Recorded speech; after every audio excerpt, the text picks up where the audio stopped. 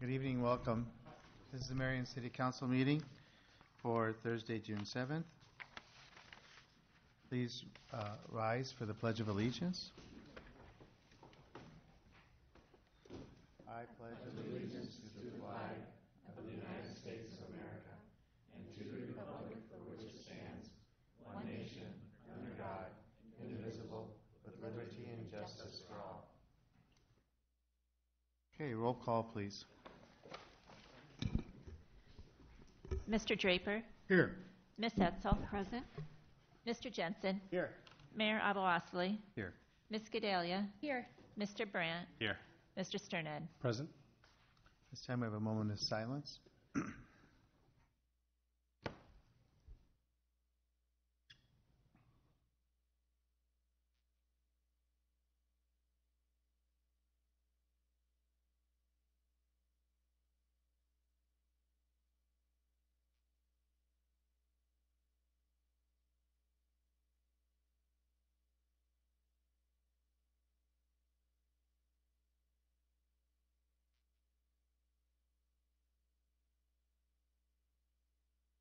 Okay, thank you. First up on our agenda, we have uh, a presentation uh, regarding public input for the pe- uh, pedestrian bridge design over Marion Boulevard. Is that you, Kesha? Yes. Okay. Last calculation. Um, Nothing like cutting it close. So, Hi. as you all walked past, so Kesha Billings with the City uh, Planning Department. Um, Hopefully, every one of you took the chance to vote. You saw the boards out there at City Hall, at the city showcase. If you bike to work, they were at the pit stops there too. I'll actually put this up quick. So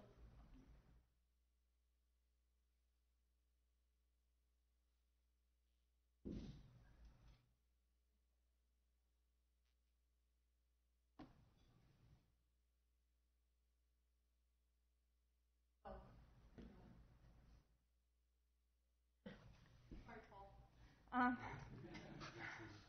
figured this would be seen by maybe more. Um, so what we have is we set out to search for some public input on bridges for what our next gateway into Marion is.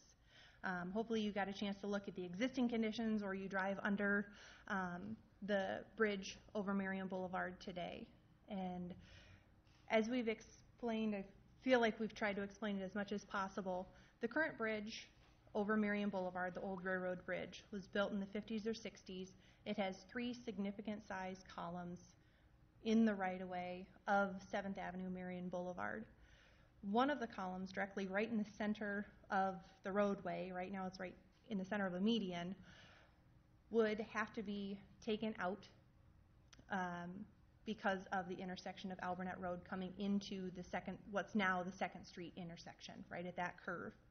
So when that goes in, you have a turn lane that needs to go in, requiring the elimination of that center pillar.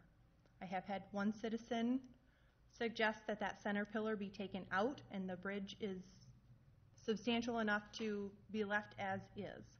Um, FYI, we have not verified that with the structural engineer. It's just going off the premise all columns are needed and taking one out makes the bridge structurally deficient.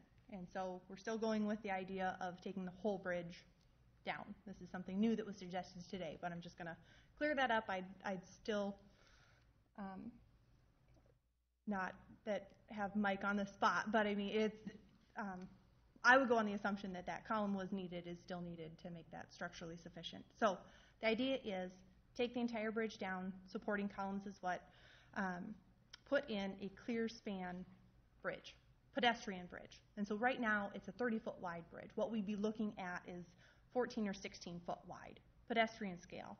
Cyclists, wheelchairs, walkers, rollerbladers, um, that type.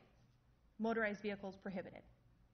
However, it would be significant enough to allow snowplows and stuff, our, our Parks Department plows on there. So, what we have is we have um, option A. Hopefully, all of you either have really good eyesight or you can recall. Option A was that truss with the false arch. And so that's your standard truss bridge. Um, with, with that false arch is not really needed. Um, the view through it would be, actually I can pull up.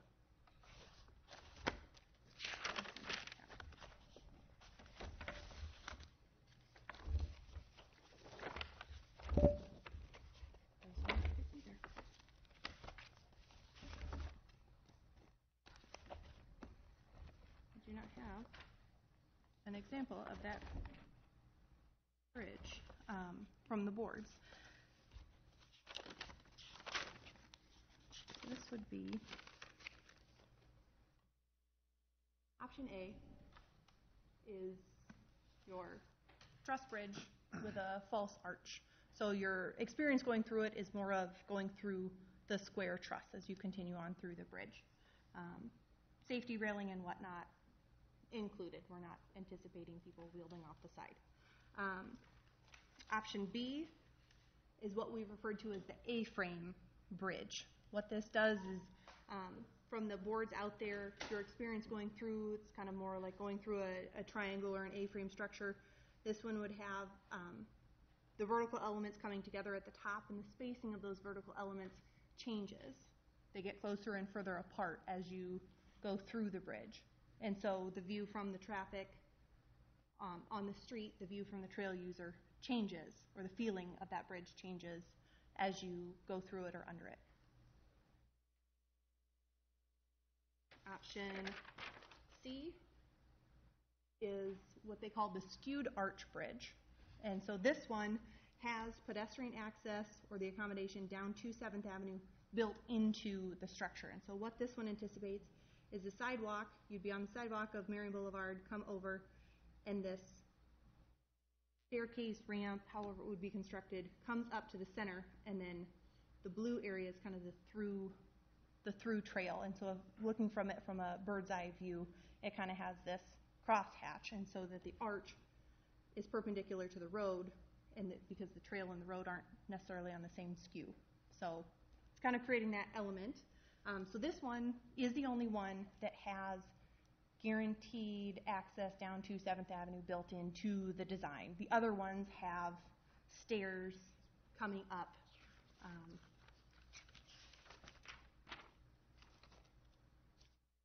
get better in this one. Stair elements or a ramp element coming up from. And so pedestrian access down to Marion Boulevard, 7th Avenue is built in or included with each one of these. Option C has it part of the bridge structure. And then option D is the Iowa Bridge, Iowa Big Bridge concept. And from the concepts out there and what they presented to the council last spring is not necessarily uh, a solid tube over that. And so what, what got to be the hard part is integrating their design into kind of a, an existing conditions of the road. And so ideally, this would be more of a lattice type structure with a um, coil lighting design or some sort of coil design through the structure. And so you would be able to see into the bridge. It's not going to be a solid tube um, built over. This one includes a lookout. This is the only one that actually has the lookout space integrated into part of the bridge. Um, so yeah. Um, so I'll get into voting. And so online, so Amber closed the voting this afternoon. So online we had 1,185 votes. Wow. Almost 1,200 votes, online only. Um, on the board, as you can see, it looks pretty much like a bag of Skittles. Um, so, but that was done with purpose. And so if you look at the red dots, these are, this is the um, feedback that we got from the city showcase. So the residents, visitors um, coming to the city showcase that came that Saturday got to see, got to vote first on these bridge designs. And we opened up the online voting after that. So the Monday after we opened up online voting. So um, almost the entire month of May was open to online voting, as well as putting your own dot on um, on actual poster board. The orange dots, if you ever had to come up for a city building permit, had a zoning question, or needed a chicken permit, um, you came upstairs to second floor. All of these designs were available for voting upstairs. The orange dots represent people that were like, oh, I hadn't heard about this, or yeah, I heard about it. I just want to come and see it in person.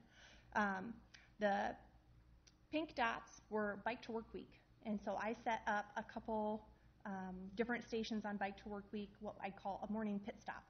And so you have commuters to, I would say, majority of the commuters are Rockwell, so it that would be a skew um, if you were looking for one um, one workplace that was targeted. I hate to say we targeted, but the pit stop locations were more geared towards Rockwell.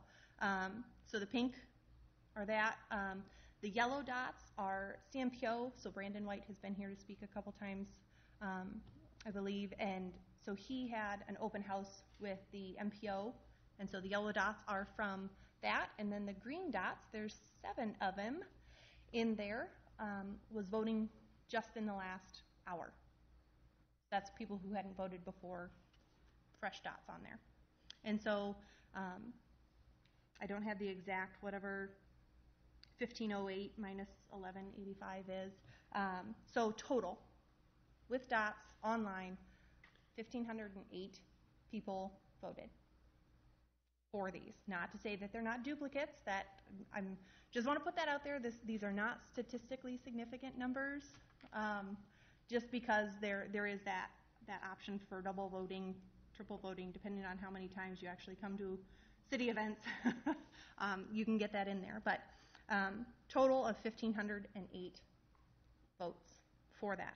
So, drum roll. The big reveal is that option A had 555 votes, which is 36%. Um, option B, so option A is the truss with the false arch. Option B is the A-frame. Um, that had 255, which is 16%. Um, option C, which is the skewed arch, that's the one with the pedestrian arch down to 7th Avenue. That one had 291 votes, which is 19%.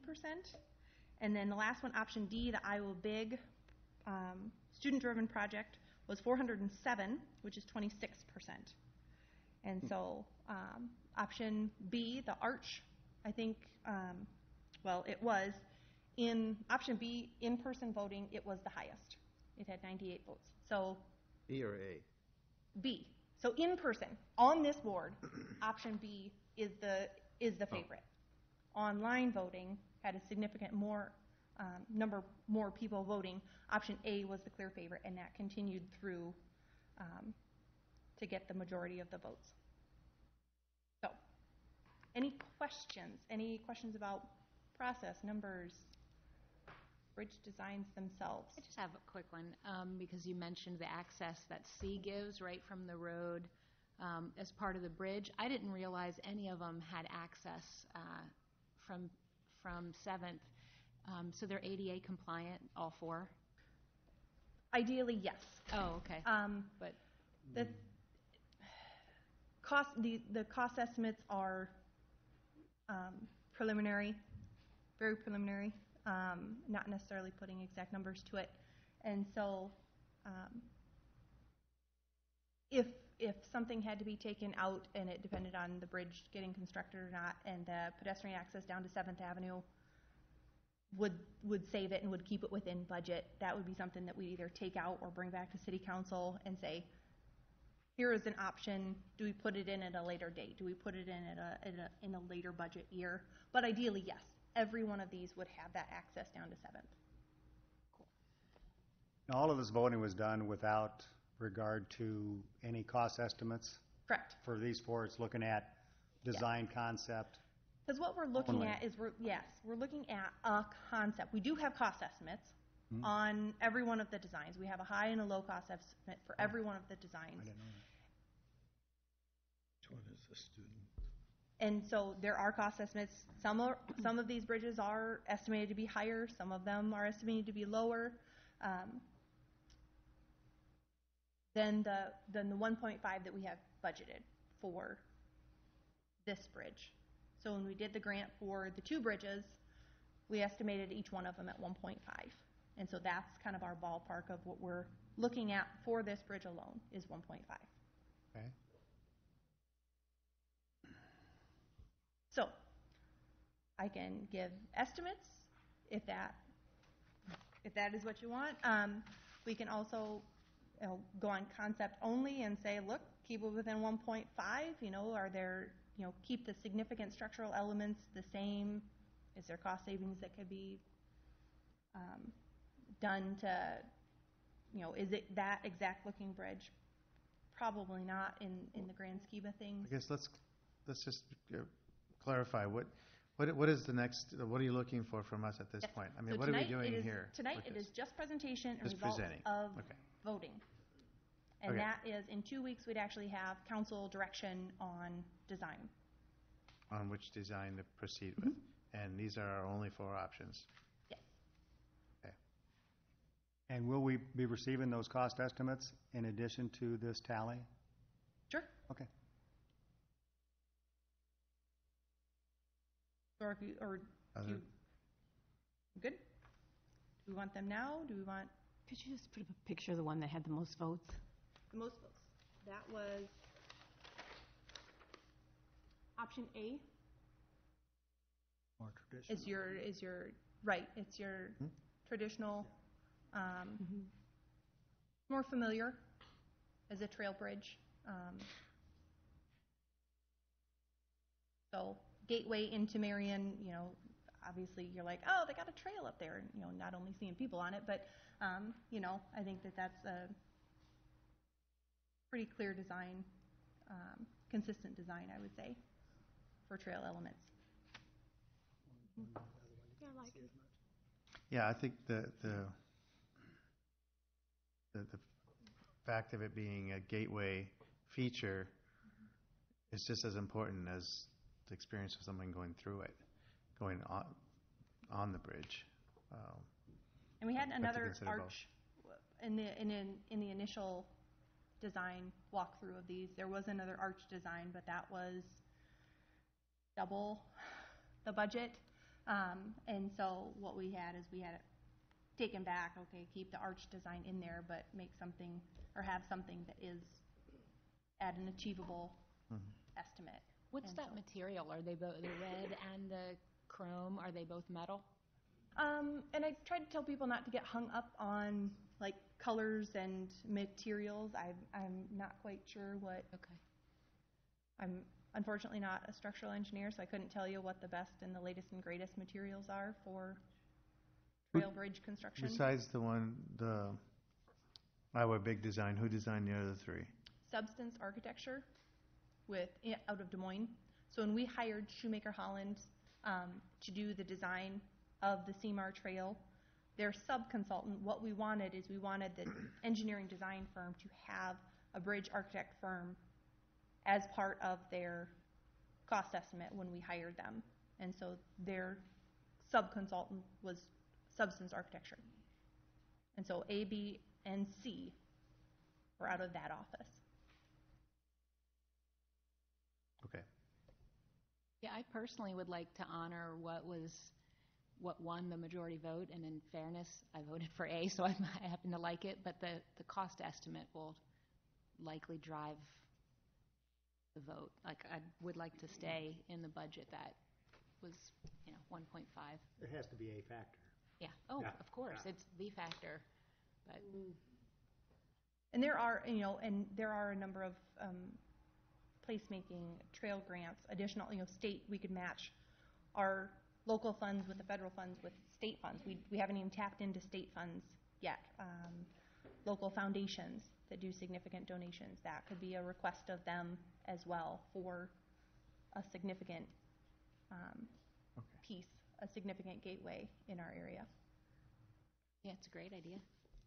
Other co- comments, questions? I think it's, I- think it's great. I I personally like the A as well, too. I, from my other perspective, I like the fact that it's more visible for police and safety, um, to be able to see who's up there, what activities are going on. Um, It's more transparent, so you can see through there. Some of the other ones give you a little bit more of an obstruction, so, you know, we have, if there's any potential issues, you know, in a nighttime or you know, I hate to say this, but there's just been more accidents with objects being thrown from bridges and stuff like that. I mean, these are all play into those things that I look at as well too. So, but they were all great, and um, this happens to be my favorite as well. But thank you for all your work. That's a lot Okay. of work. Thanks, Kesha. Okay, and if you have any questions in the next couple weeks, if you think of one more thing, I'll be happy to take emails, calls, stop in. Um, If not, we'll have this on the next city council agenda for a decision. And I'll probably be back in front of you at that time too. Cool. Thanks. Thanks. Okay, next we have a presentation from Heart Safe Linn County, Iowa. Are you Rose? I am. Welcome. Welcome. I think that we have a PowerPoint, so I would assume that it's here. I could pull it up.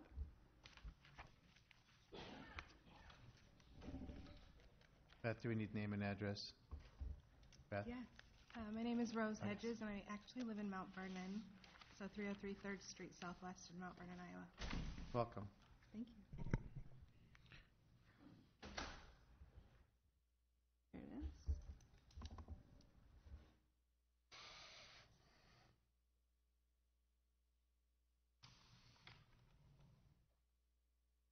Well, as this is loading by way of an introduction, I'm a nurse by training. I work in informatics, and my um, nurse training is actually in cardiac intensive care. It's kind of how I got um, involved in this program. If someone would just share There with me, go. perfect. I'm like, how do I make it work? Perfect. Um, I got involved with this as I um, helped to lead Unity Point St. Luke's um, community CPR team. And so we, um, as a Heart Safe Linn County, were designated. Actually, um, last fall, we got this designation, and I want, I'd like to tell you more about that as well and kind of what we are asking of you and how you can help. So this is our certificate. Linn County as a whole, um, we were designated as a five heart instead of star program. And um, this is actually good through 2020.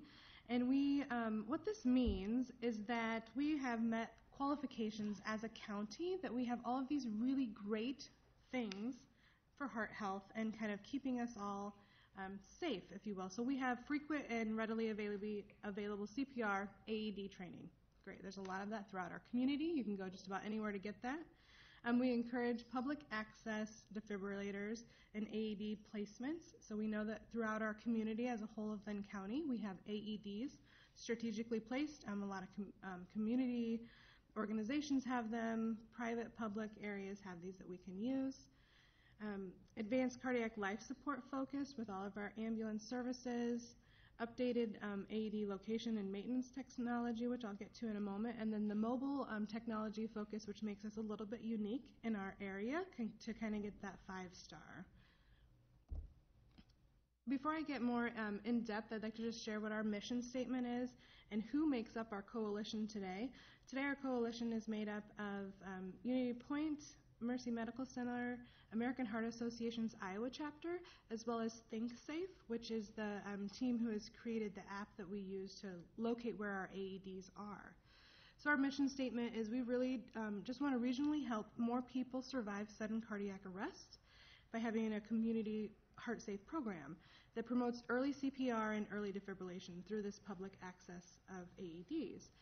And we know from the American Heart Association that 383,000 people nationwide have an out of hospital cardiac arrest, so not in the hospital. And 32% of those people get the help they need before emergency professionals arrive. So part of our goal is to raise awareness that of hands-only CPR, as well as to look, know where our AEDs are in our community, because we know that fast action can save lives.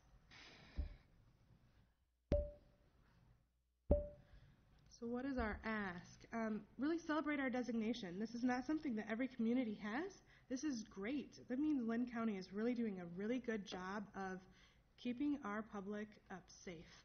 So we have a, website that anybody can go to to learn more about HeartSafe, what a, what are some heart things you can learn about, AEDs, and then also we have the app that we support as well that's um, pictured there in the corner that we can share these with the minutes. We want to spread the word about this app. It's a free app, and what it does is it tells you in your community the closest AEDs to you. So if you are, you know, out walking your dog or something happens, you can actually use the app and say, oh, you know what? Casey's has an AED. I could potentially save a life. So that's what the purpose of this app is, and that's what makes us a little bit unique as, as well in our community is having access to this. So our ask from you all is we are always looking for more people to help us volunteer on this task force, and that may be um, hanging out at a booth and teaching people hands-only CPR or just being passionate about heart health. Um, we have a Facebook page. We're really just trying to get the awareness out there that we have this really awesome designation and we should be proud of ourselves. So we're making the, the rotation, if you will, of city councils to let everybody know. I'm happy to entertain any questions. Any questions? None? Oh, sounds good to me. Good, we should be proud of it, Yeah. You yes. got that app on your phone, Paul?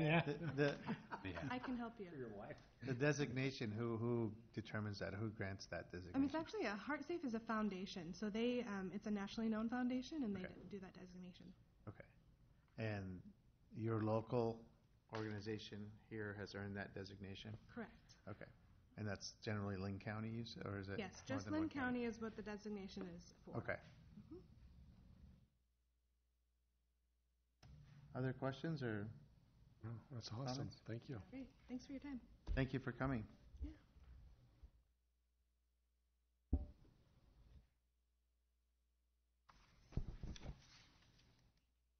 Okay. Moving on to the consent calendar.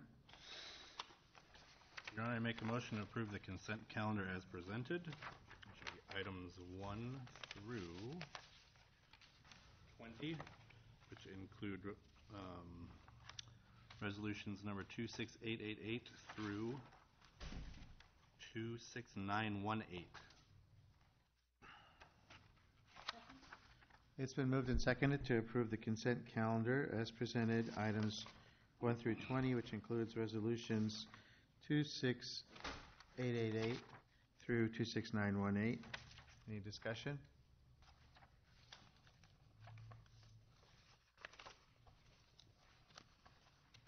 Okay.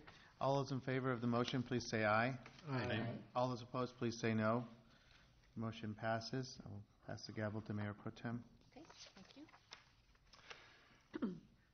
Make the motion to approve consent calendar with Mayor AbouAssaly's abstention from voting and discussion regarding the, cons- the following items as presented. This will be resolution number 26919 through resolution number 26925.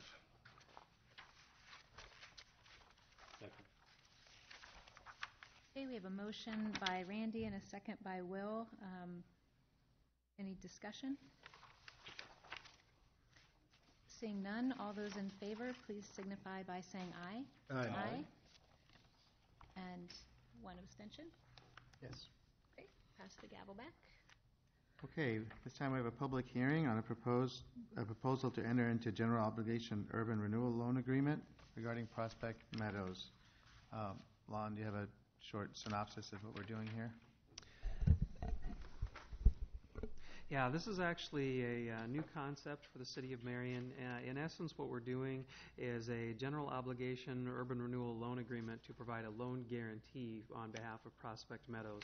As part of the financing for their overall project, they are doing uh, some financing through Cedar Rapids Bank and Trust, and uh, as part of the conditions of granting the loan, the bank, of course, was looking for all the security they could find, so they asked if Linn County and the city of Marion would be willing to provide a partial guarantee for that loan. So uh, we have uh, put one together. Linn County has already approved theirs, and our loan guarantee would be for uh, maximum of 1.2 million, but it's an annual obligation guarantee, meaning that it's broken up into annual payments. So the only exposure that the city has is whatever the city council is willing to obligate and approve as part of the annual budget process. Okay, the public hearing is now open. Is there anyone here to speak in favor of this measure?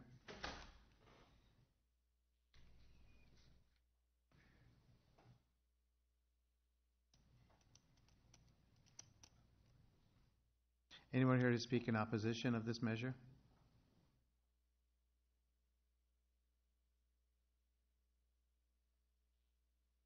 Okay, seeing that there's none, we'll close the public hearing. Yes, Your Honor, I have resolution number 26,926, approving a general obligation urban renewal loan agreement providing for provisional levy of taxes to pay for the same, and approving the site agreement with Prospect Meadows, Inc. Second? It's been moved and seconded to approve resolution number 26926, approving the general obligation urban renewal loan agreement, providing for the provisional levy of taxes to pay the same, uh, and approving a side agreement with Prospect Meadows, Inc. Discussion.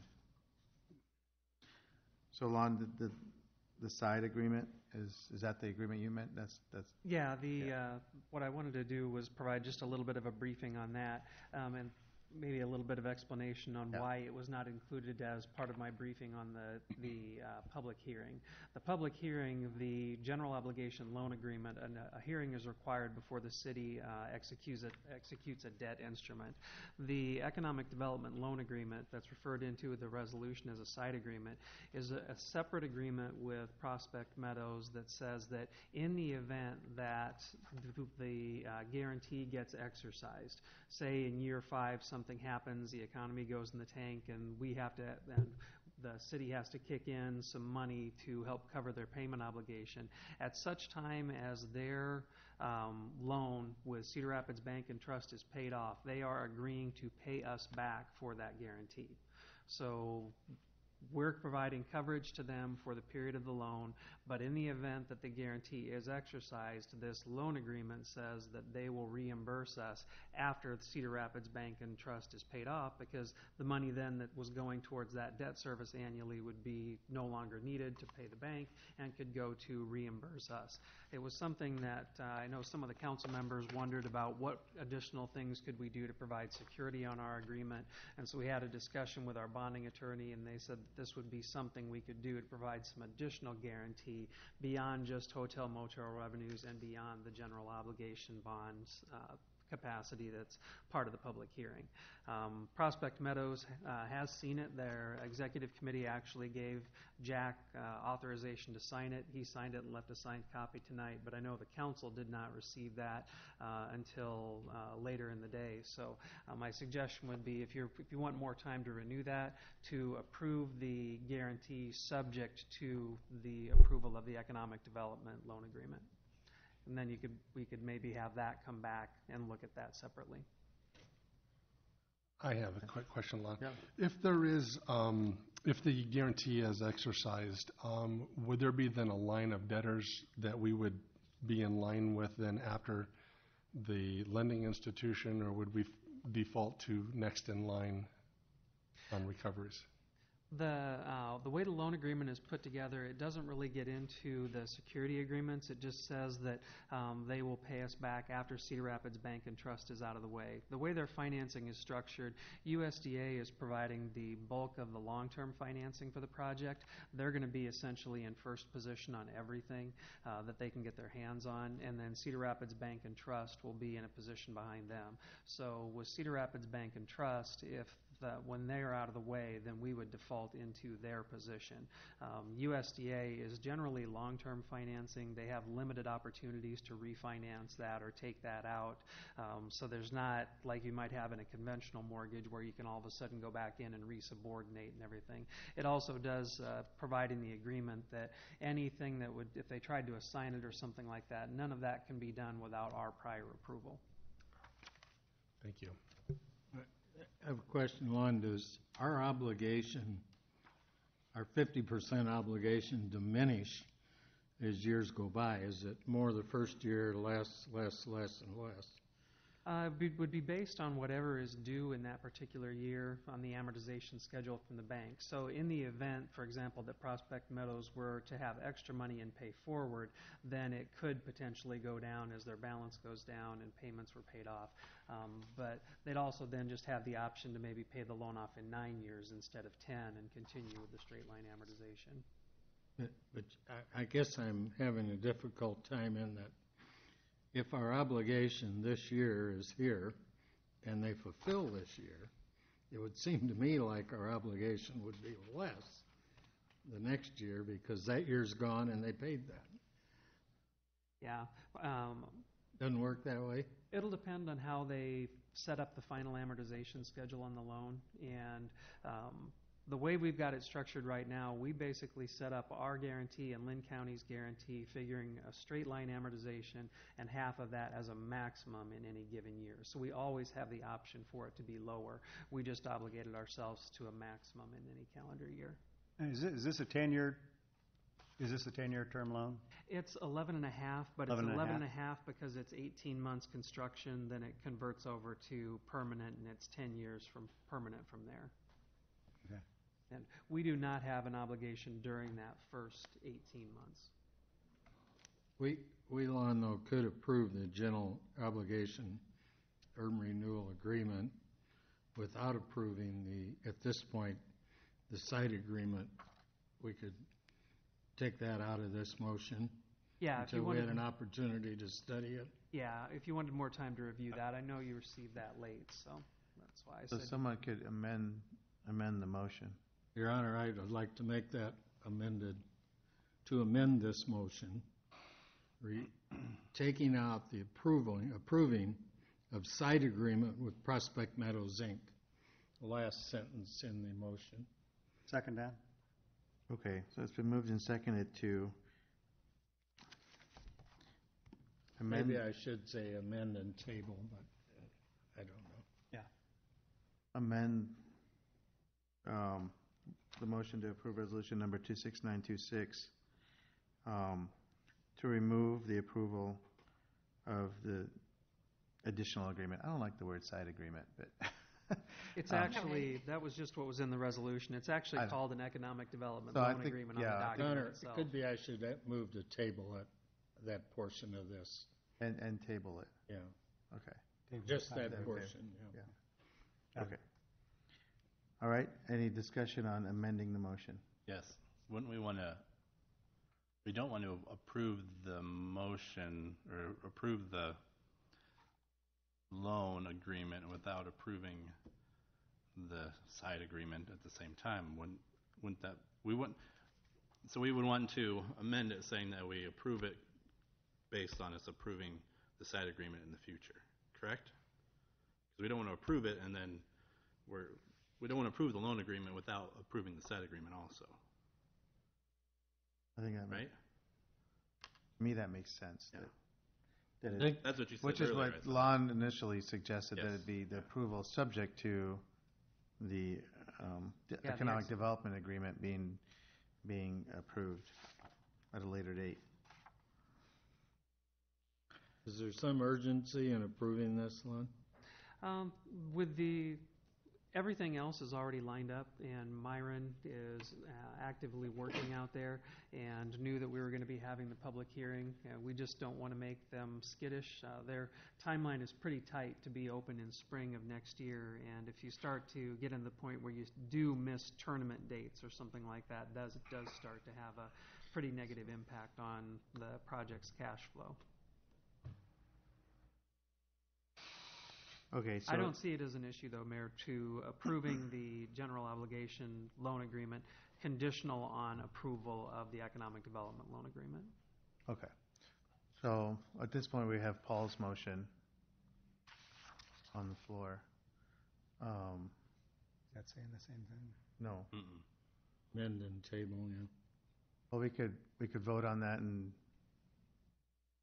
vote it down and then come back with another amendment to, Uh, He could also withdraw it. you want, okay, Paul, Sure, why you- not? you're withdrawing your motion? Uh, yeah, we'll withdraw it and correct it Okay. as it should be. And then Steve would need to withdraw his second on that motion also. I'll withdraw the second. Thank you. Okay. All right, so the motion to amend has been withdrawn. So is there, did you want to make another motion to amend? Okay, um, let me think how we'll word this. Um, I make a motion to amend, hold on, let me see where we're at. Make a motion to amend resolution number 26926 um, to approve the general obligation urban renewal loan agreement um, c- contingent upon the approval of the economic development loan agreement. That sound right? Yes. Second. Okay, so it's been moved and seconded to approve resolution number 26926, uh, which is approving the general obligation urban renewal loan agreement, but contingent on approval of the economic development loan agreement at a later date. Okay? Any discussion on that? On, on amending the motion? All those in favor of amending the motion, please say aye. Aye. All those opposed, please say no. Okay, so now it's an amended motion, which reads approving the general obligation urban renewal loan agreement contingent on uh, approving economic development loan agreement at a later date. Discussion on the amended motion. Okay?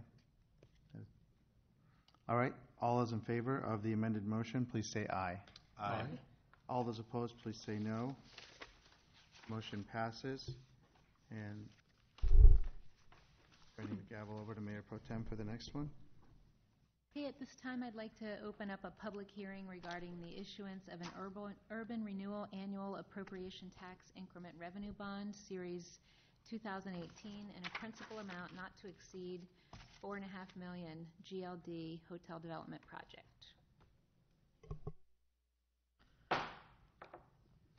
Um, Lon, would you? Sure. As part of the uh, redevelopment of the east end of the Central Corridor, in essence, what is the area between 27th and 31st Streets, uh, the city considered an economic development package centered around two, two major pieces. One was the hotel, and then the other was the commercial development around the hotel. And as part of the hotel development, uh, what the city agreed to do was to provide an economic development grant uh, equal to 36% of the ex- estimated hard construction costs of the structure. And we're doing that by doing an economic development uh, urban renewal loan through a local financial institution. So the Collins Road Extension Urban Renewal Area, that TIF district, is going to be repaying this loan. Um, and then as the project draws down and as it proceeds, we will pay 36% of costs based off of invoices that are supplied to us um, through the course of the construction project, up to a maximum of 4.5 million. Okay. Thank you.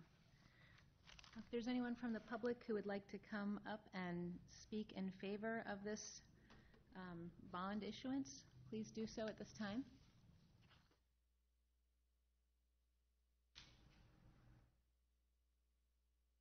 Okay, would anyone like to come up and speak against this bond issuance? Please come up and speak at this time. Okay, seeing none, public hearing is closed. Kim?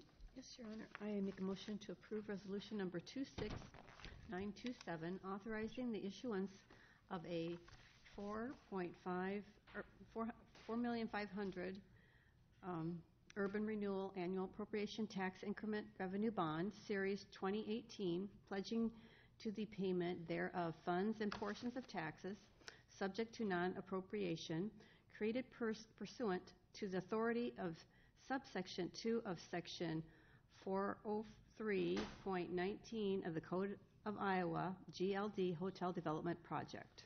Second. Okay, we have a motion by Kim and a second by, was that you, Paul? Yes. Thank you. And a second by Paul. Discussion?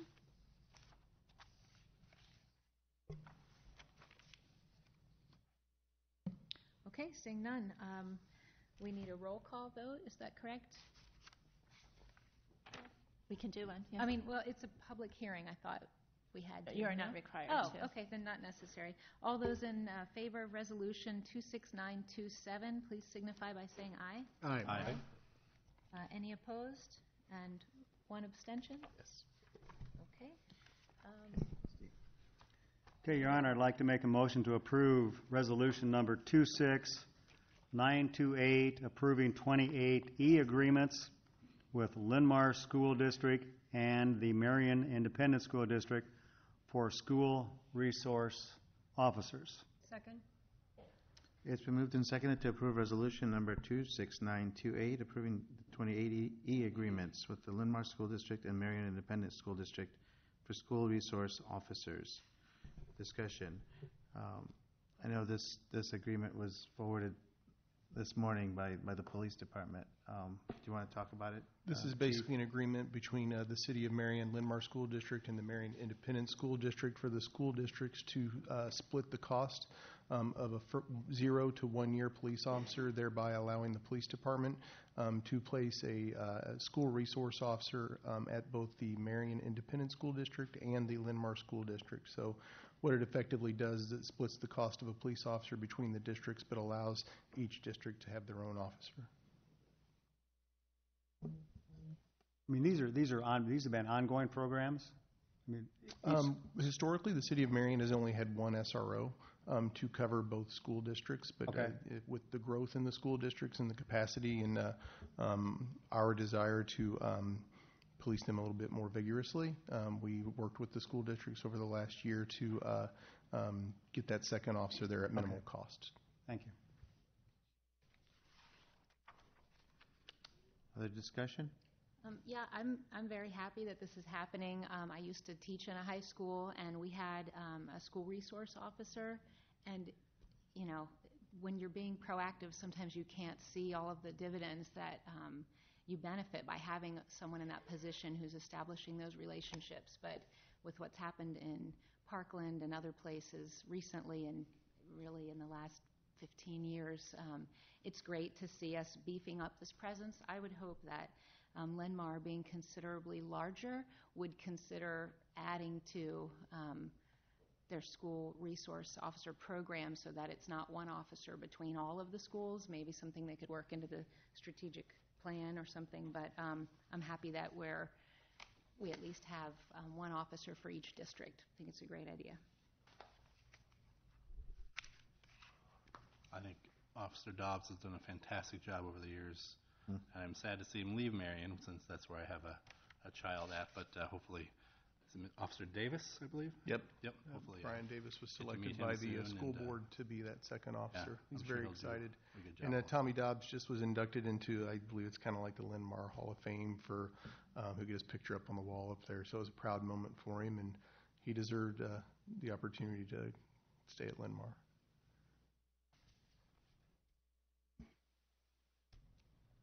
Other comments? Are you, are you ok- okay voting on this?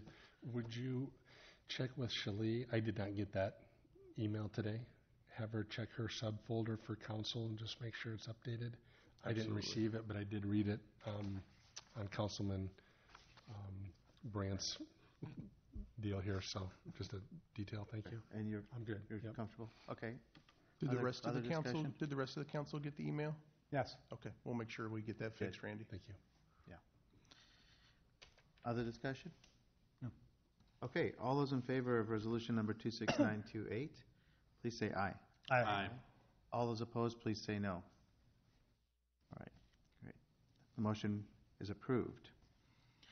At this time, we have another public hearing regarding adoption by reference of the International Fire Code 2018 edition with amendments and providing penalties. Um, The public hearing is open. We, we, we got a rundown of all the amendments on, at the Tuesday work session. Um, I don't know if anybody has, well, I guess this is the public hearing portion. Um, Is there anything to, anybody to make a presentation on this, or? No, Your Honor. Um, Every three years, the International Code Council updates all their codes, including building, mechanical, electrical, um, all of those. And last month, the council did vote to update the building codes and all the mechanical co- codes to the 2018 issues, and that's what the fire department is asking for also. All right. Anyone here to speak in favor of this measure?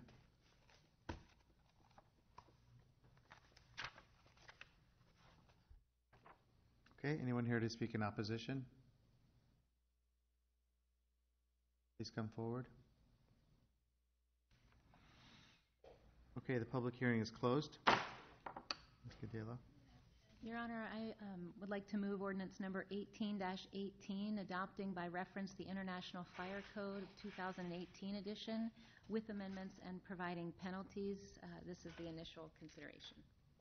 Second? It's been moved and seconded to approve ordinance number 18-18, adopting by reference the International Fire Code 2018 edition with amendments and providing penalties. Any discussion? Yeah, Chief, I thought we were going to have the wording of this tonight, accepting or, or excluding at this point in time the, I don't remember which section it was about the business permits. We So just, this is all inclusive? with the amendments, we just removed it from the amendments, and we'll follow up on that at a later date. Okay, so as it's worded here, that is not included in That the is not amendments? included, no. All right. Okay. Other discussion? Good, good, good question. Ask about the fire thing. Other discussion? I- Yeah, I just want to say, um, so Fire Marshal did a great job with the presentation, and one thing that I noticed was, um, so we go and we do inspections, and then if there's an infraction, we come back, and it's still free at that point, and we sometimes have to come back and come back. And I would just ask to consider, um, I don't know if increasing the penalty or something so that the fire department, who is already um, short-staffed to do some of this stuff, I don't know if it just would incent people to get it right the first time it's pointed out or something, but to save department time, um, that we would consider making some of the penalties a little stiffer. And I don't know if we're just in keeping with other people and this is maybe in a hard you know what, but I just want to say it because I feel like we really are nice about how much we go back, and I love that we're working with people, I get it, but, um, you know, we're, we're really busy and we're saving lives at the same time too, and so, um, hopefully, when we point something out the first time, people would really try to get it right before we come back. So, just food for thought. Yes, ma'am. Other, other comments or questions? Okay, all those in favor of ordinance number 18-18, please say aye. Aye. All those opposed, please say no. Motion is approved. Uh, Chief, before we move on to the rest of the agenda, I got a question for you. Um, I have on my calendar still uh, for Saturday morning, the fire demonstration about that new uh, equipment. Is that still this Saturday? Yes, sir, it is. It is And what Saturday. time is the actual I can- demonstration going to be? I can send out an email tonight and make sure you all receive it Okay. with the address and that. I know there's an educational part, and then there's also, There's a classroom portion in the morning from 8 to 11 at Christ Community Church. okay, And then in the afternoon from 12 to 3, 2969 C Avenue Extension, we'll be burning down a two-story farmhouse and six vehicles to show an ultra-high pressure firefighting system, which uses less water than our conventional engines do. will you send out that reminder? I have it, I will. I had it for 8:30, I'll move it out to noon. That's Okay. the- That's the piece I want to see. Yeah. Thank you. Thank you. Okay, on to building inspection. Uh, Your Honor, I make a motion to approve ordinance number 18-11, amending chapter one sixty of the Code of Ordinances and adopting by reference the International Building Code twenty eighteen edition with amendments and provi- providing penalties, second consideration. Second? Been moved and seconded to approve the ordinance number eighteen eleven, amending chapter one sixty of the Code Code of Ordinances, adopting by reference the International Building Code Uh, twenty eighteen edition with amendments and providing penalties. This is a second consideration. Any discussion on this? None? All those in favor of ordinance number 18-11, please say aye. Aye. Aye. All those opposed, please say no. Motion is approved. Your Honor, I would move we suspend the rules and go to the third consideration on 1811. Is there, does it need a second? Second. Uh, Second. Councilman Brandt. Thank you. So it's been moved and seconded to suspend the rules and to approve the final consideration of ordinance number eighteen eleven. Any discussion? All those in favor of the final consideration or of ordinance th- number eighteen eleven, please say aye. Aye. Aye. All those opposed, please say no. Okay, the motion is approved. Mr. Your Honor, I make a motion uh, to approve ordinance number 18-12, amending Chapter 163 of Code of Ordinances and adopting by reference the International Mechanical Code 2018 edition with amendments and providing penalties. Second consideration. Second.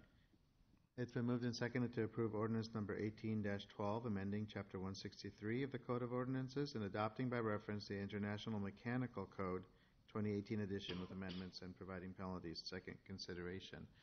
Discussion. All those in favor of ordinance number 18-12, please say aye. Aye. All those opposed, please say no. Your Honor, The motion is approved. Go ahead. I would move that we suspend the rules and go to the third consideration on 1812. Second. It's been moved and seconded to suspend the rules and approve the final consideration of ordinance number eighteen thirteen. Any Twelve. discussion? Eighteen twelve, I'm sorry. Any discussion? All, those- all those in favor of the final consideration of ordinance number 18-12, please say aye. Aye. Aye. Aye. All those opposed, please say no. The Motion is approved. Your Honor, I have ordinance 1813, amending the Code of Ordinance 161 of the Code of Ordinances and adopting by reference the International Plumbing Code 2018 additions with amendments and providing penalties. This is second consideration. Second?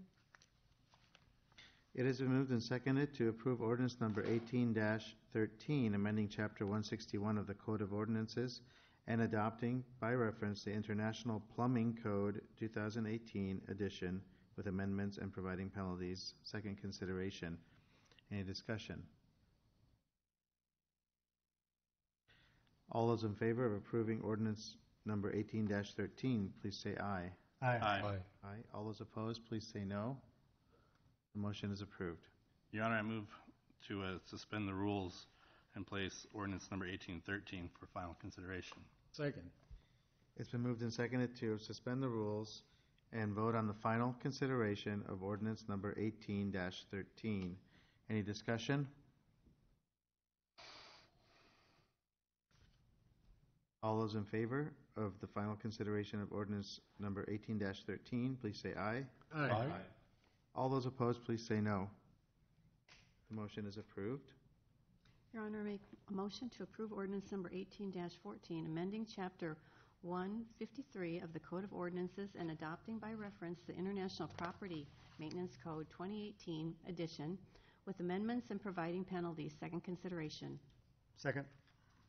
It has been moved and seconded to approve ordinance number 18-14, amending chapter one fifty-three of the Code of Ordinances and adopting by reference the International Property Maintenance Code twenty eighteen edition with amendments and providing penalties. Second consideration.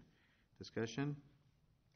Yeah, I'm going to echo what I said about the um, International Fire Code, because there are penalties for the last four, and I'm not sure what those are and how much leeway we provide in terms of going back to do inspections, but I would just ask that um, building inspection look at that, and if we're giving a lot of leeway and having to go back third and fourth times continually, that we maybe make stiffer penalties, just to be consistent, save staff time.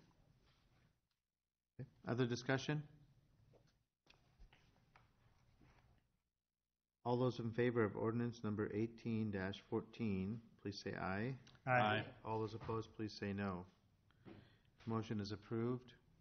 Your Honor, I would move that we suspend the rules and go to the third reading on 1814. Second. Oh. It has been moved, it has been moved and seconded to, yes? You said eighteen fourteen?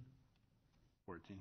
Uh, Yeah, that's Yes. what I just read. Okay. It has been moved and seconded to suspend the rules and approve the final consideration of or- ordinance number eighteen fourteen.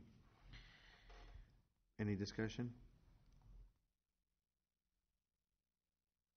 Okay, all those in favor of the final approval of ordinance number eighteen fourteen, please say aye. Aye. All those opposed, please say no.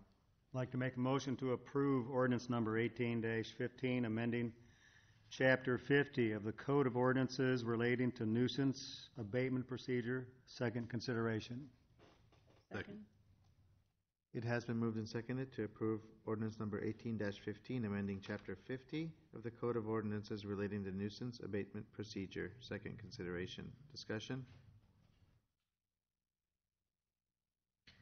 All those in favor of ordinance number eighteen fifteen, please say aye. Aye. Aye. All those opposed, please say no. The motion is approved. Your Honor, Yes, sir. I make a motion to suspend the rules and place 18, ordinance number 1815 for final consideration. Second? It has been, been- been moved and seconded to suspend the rules and move to the final consideration, uh, approval of ordinance number eighteen fifteen. Any discussion? All those in favor of the final approval of ordinance number eighteen sixteen, please say aye. Or 15. fifteen, please say aye. Aye. All those opposed, please say no. Motion is approved. Your Honor, I move that we approve ordinance number 18-16, amending chapter one sixty-five of the Code of Ordinances relating to the Housing Code. This is the second consideration. Second? It has been moved, been moved and seconded to approve ordinance number 18-16, amending chapter one sixty-five of the Code of Ordinances relating to the Housing Code. Second consideration. Discussion? All those in favor of ordinance number 18-16, please say aye. Aye. All those opposed, please say no. Motion is approved. Your Honor, Yes, sir. I would like to make a motion to suspend the rules and move ordinance number 18-16 for final consideration. Second. Second. It was moved by Councilman, um, Strnad. Strnad. Trying. And seconded by Councilman Brandt to uh, suspend the rules and move to the final consideration of ordinance number 18-16. Discussion. All those in favor of the final con- approval of ordinance number eighteen sixteen, please say aye. Aye. All those opposed, please say no. All right, the motion is approved. That's how you have fun on a city council meeting, right? That was a, That's our fun. all right, go ahead. Mr. Brandt. Oh, is it me? Sheesh. Um, Your Honor, I make a motion to approve resolution number 26929, approving a stop sign, stopping, wait, approving a stop sign stopping north and southbound traffic on Winslow Road at its intersection with Tower Terrace Road. Second? Okay, it's been moved and seconded to approve resolution number 26929, approving uh, the addition of a stop sign stopping north and southbound traffic on Winslow Road at its intersection with Tower Terrace Road. Any discussion? That permanent? Eventually, you're gonna be able to, Yeah, I mean, Tower Terrace not open right there. correct. Would you like me to give a, a staff report? Um, Sure. Benefit of the public. Yeah. Um, so basically what we're talking about, this is the old Winslow Road here. This is the new Winslow Road. Right now, this intersection is what is closed to traffic right now. This is the intersection of Tower Terrace and Old Winslow Road. This is what Resolution 26929 is approving, is putting the stop signs in for north and southbound traffic. Eventually, the portion of Winslow Road north of Tower Terrace to the new Winslow Road will go away along with that bridge. The connection to the south will remain. So the, the stop signs will remain until the bridge gets built of Tower Terrace across Indian Creek.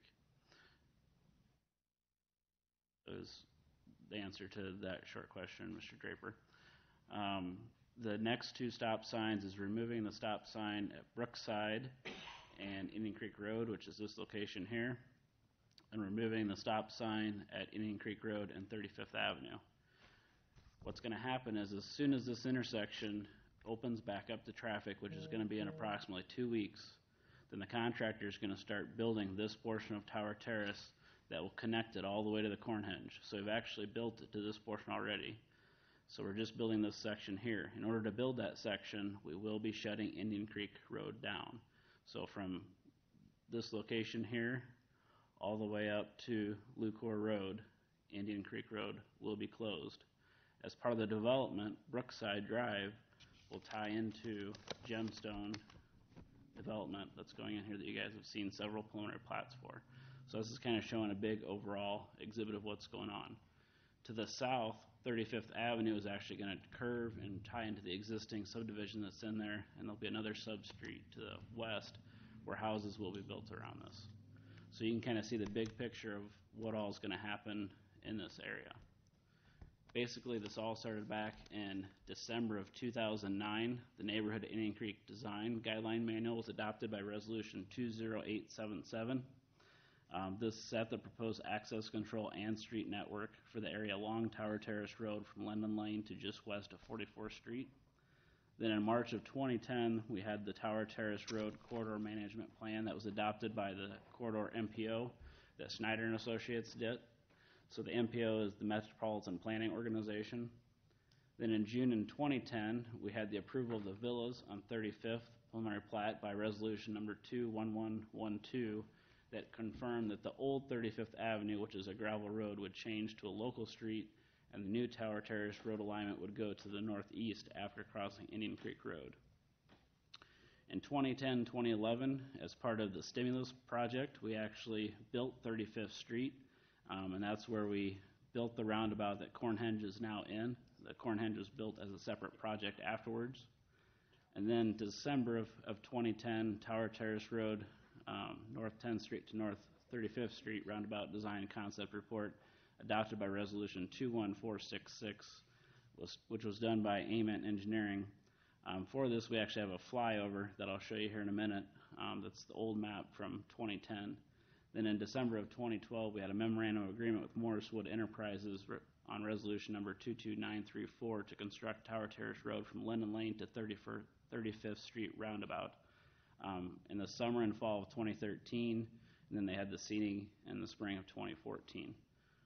This is the, the flyby. It was done in um, 2010, so it's some old graphics and an old image. But you can see here we're starting clear over at 380 where Tower Terrace will start. And we're going eastbound. We're clear over in Hiawatha at the, right now. now we're entering the, the city of Robins.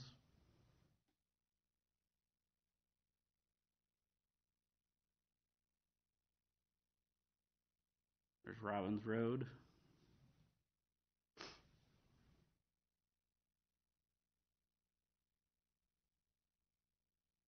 Council Street.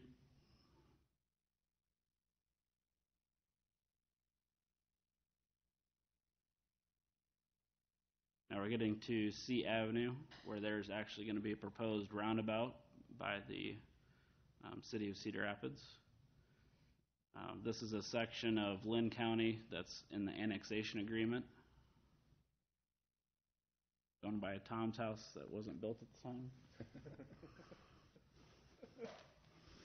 Alburnett Road and Tower Terrace, which is also a roundabout.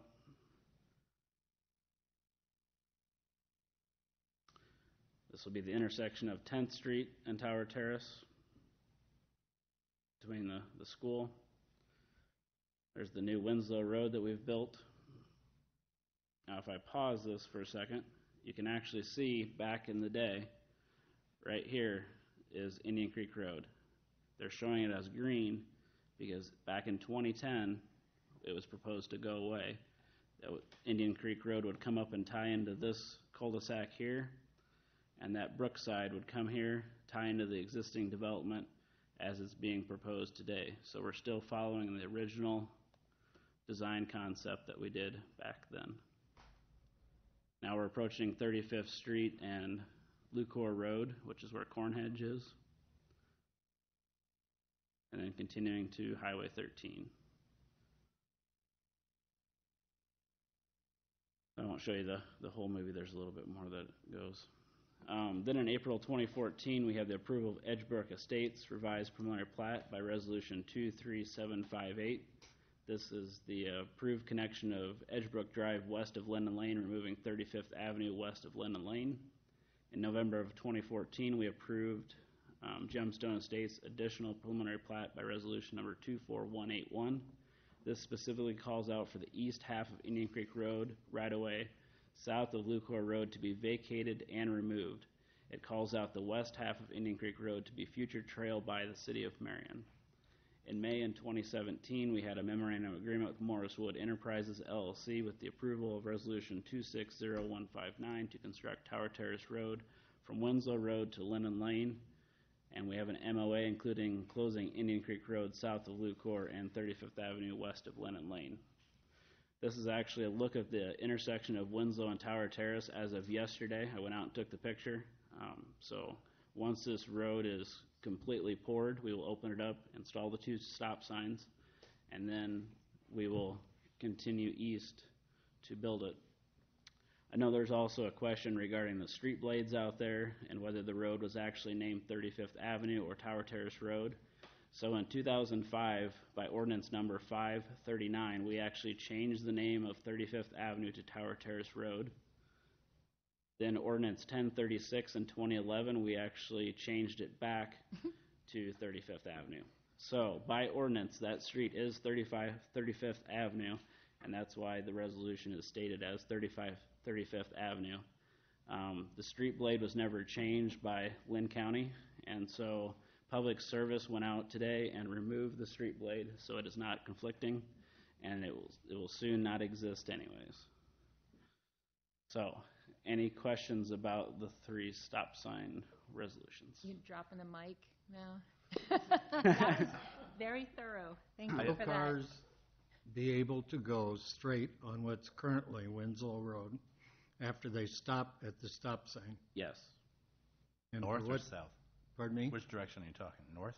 They'll be able to go north and south. Basically, this, we're, we're, clo- we close this, the street temporarily to get the intersection in there. And so you'll be able to come down the old Winslow Road and either take the new Winslow Road or the old Winslow Road to Indian Creek while we're building this section. Which is planned to be completed this construction season, unless we get a monsoon that they can't finish it When will that be open?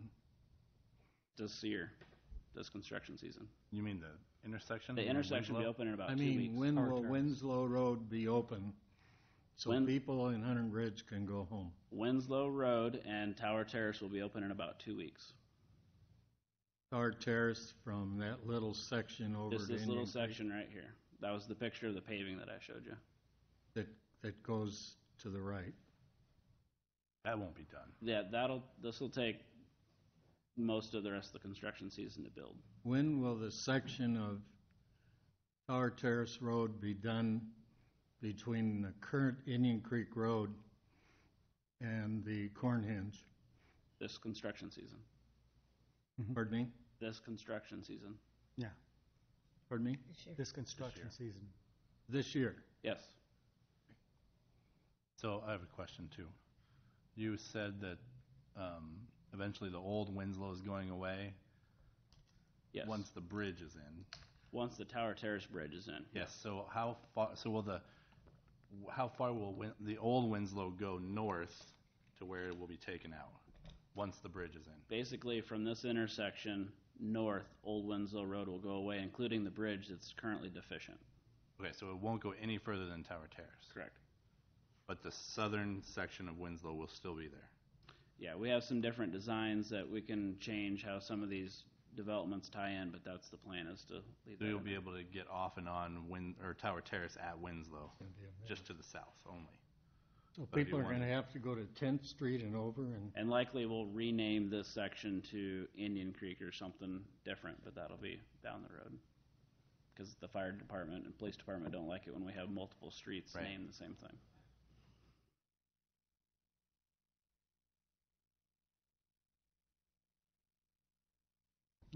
Anything else? Any other questions?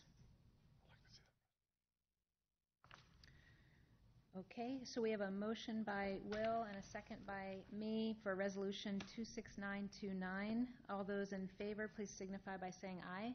Aye. Those opposed? no. Motion passes. Uh, Randy? I'd like to make a motion to approve resolution number 26930, approving removal of a stop sign stopping westbound traffic on 35th Avenue intersection with Indian Creek Road. Second.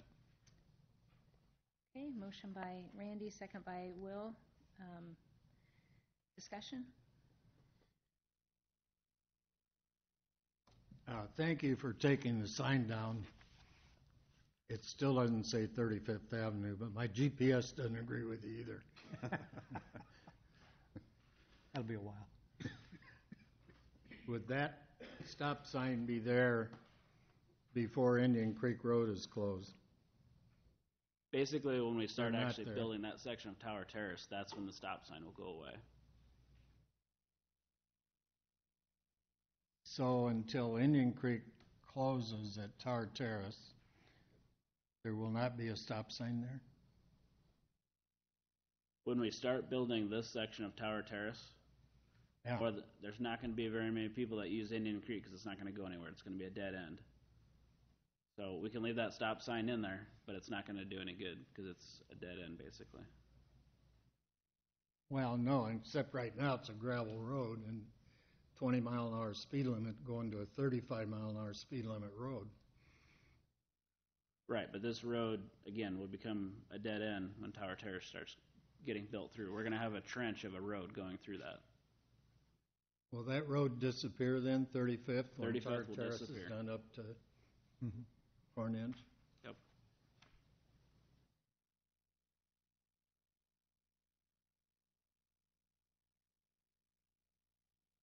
Okay, any other questions or comments? Okay, all those in favor of resolution number 26930, please signify by saying aye. Aye. Those opposed? No. Motion passes. Um, Paul? Uh, Yeah, I don't want to make that motion if someone else will. Okay, um, Randy? would you? I would be happy to. Um, This will be for approving resolution number 26931, approving removal of a stop sign stopping eastbound traffic on Brookside Drive at its intersection with Indian Creek. Second. Okay, motion by Randy and a second by Will. Any discussion or questions? Time frame. Removing the stop sign? Not until we're building Tower Terrace. So that stop sign is going to stay there as long as Indian Creek is Yes, the road it should remain. yes. And do- it doesn't say that.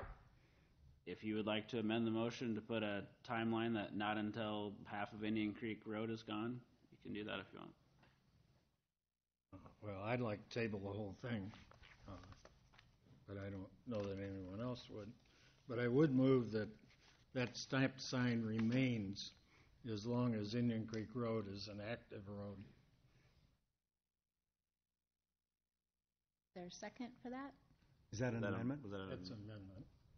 I'll second that. Okay, an amendment um, by Paul, second by Steve for the stop sign remaining. All those in favor, please signify by saying aye. Aye. Aye. Any opposed? Okay.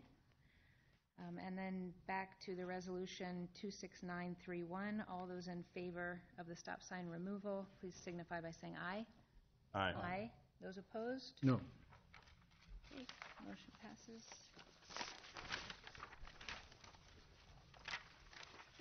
Yes, Your Honor, I make a motion to approve ordinance number 18-10, amending Chapter 63 of the Code of Ordinances, establishing the speed limit on Alburnett Road as 35 miles per hour from the northern city limits, except that area from 400, or, yeah, 400 feet south of Oak Ridge School Drive to 400 north, feet north of Echo Hill Road, which shall be 25 miles per hour when children present to the south terminus of Alburnett Road. Re- Remove code section 5D, 6G, and 6H, and add 5AC. This is the final consideration.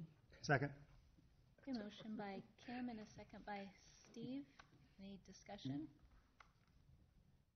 Um, Clark, I would just point out, this is probably a really good thing for the bus drivers in the school district, um, so this will be good news to take back. Safety first. Okay, all those in favor, please signify by saying aye. Aye. Aye. Any opposed? Okay, um, moving on to planning and development, we have a public hearing regarding the annexation request from Genesis Equities Land Holding LLC for property east of Partners Avenue and south of Marion Airport Road, Marion, Iowa. Um, Is there a little presentation? I can illustrate a map if you'd like, but if the council has enough information. If you could, just since there's a public hearing, that, I think that would be good. Thank you, Tom.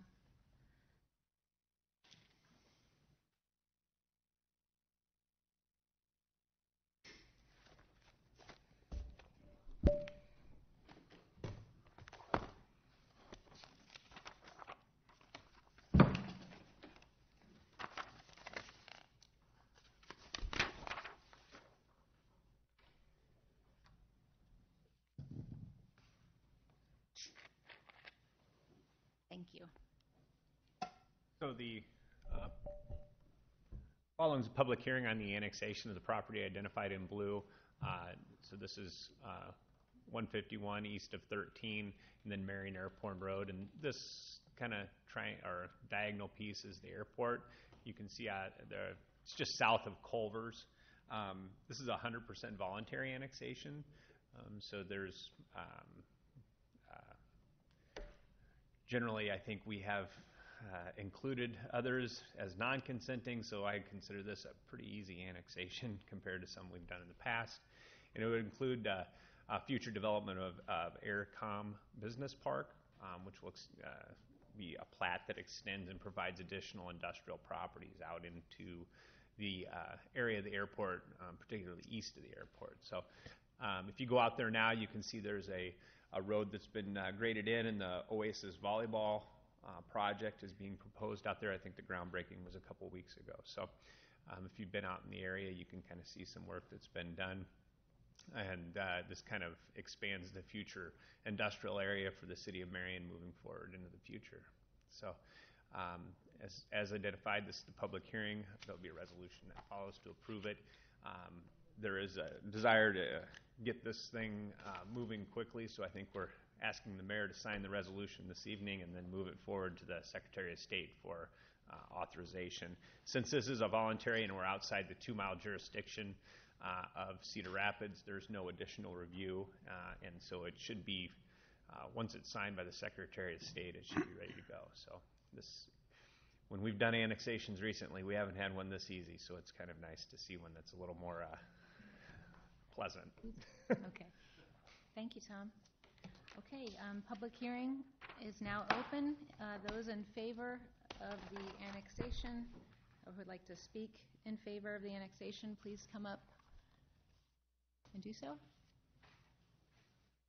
Yeah, Chad Brandall, 4317 Quill Trail Drive, just speaking on behalf, uh, behalf of Genesis Equities. Um, I really don't have anything more to add um, than what Tom presented. You know, it's just, uh, it's part of the, you know, the airport lay- layout plan. So uh, we just, uh, you know, hope that you accept it and, and approve it tonight. So, but um, if you have any questions, I'll be glad to answer. Thanks, Chad. Anyone else in favor? Is there anyone who would like to speak against the annexation? Please come forward at this time.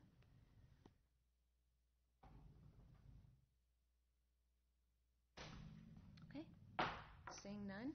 Steve? I'd like to make a motion to approve resolution number 26932, approving annexation request from Genesis Equities Land Holding LLC for property east of Partners Avenue and south of Marion Airport Road, Marion, Iowa.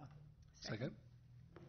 Okay, we have a motion by Steve and a second by Kim for Resolution 26932. Any discussion? Paul? Tom, show me where the airport runway is and Partners Avenue and, So this is the uh, airport runway. Um, So Partners Avenue is right here. So you come off 151. um, police station is over to your left there? Yeah, it's off the page. Uh, Culver's Garden Center is right here. Okay. Um, So, and there's a church here. So you'd pull into the airport. The little Quonset hut's about right there. Well, I think it's a little better right over here. So And it, that wouldn't interfere if you move that up down by the trail where an east-west runway might be? Uh, no, no. Um, and, and what would happen if it does is it would be reflected in the plat, but it does not. I think the east-west runway is, is more in, uh, uh, this position. Okay. Yep. Thank, thank you. Mm-hmm. Anyone else?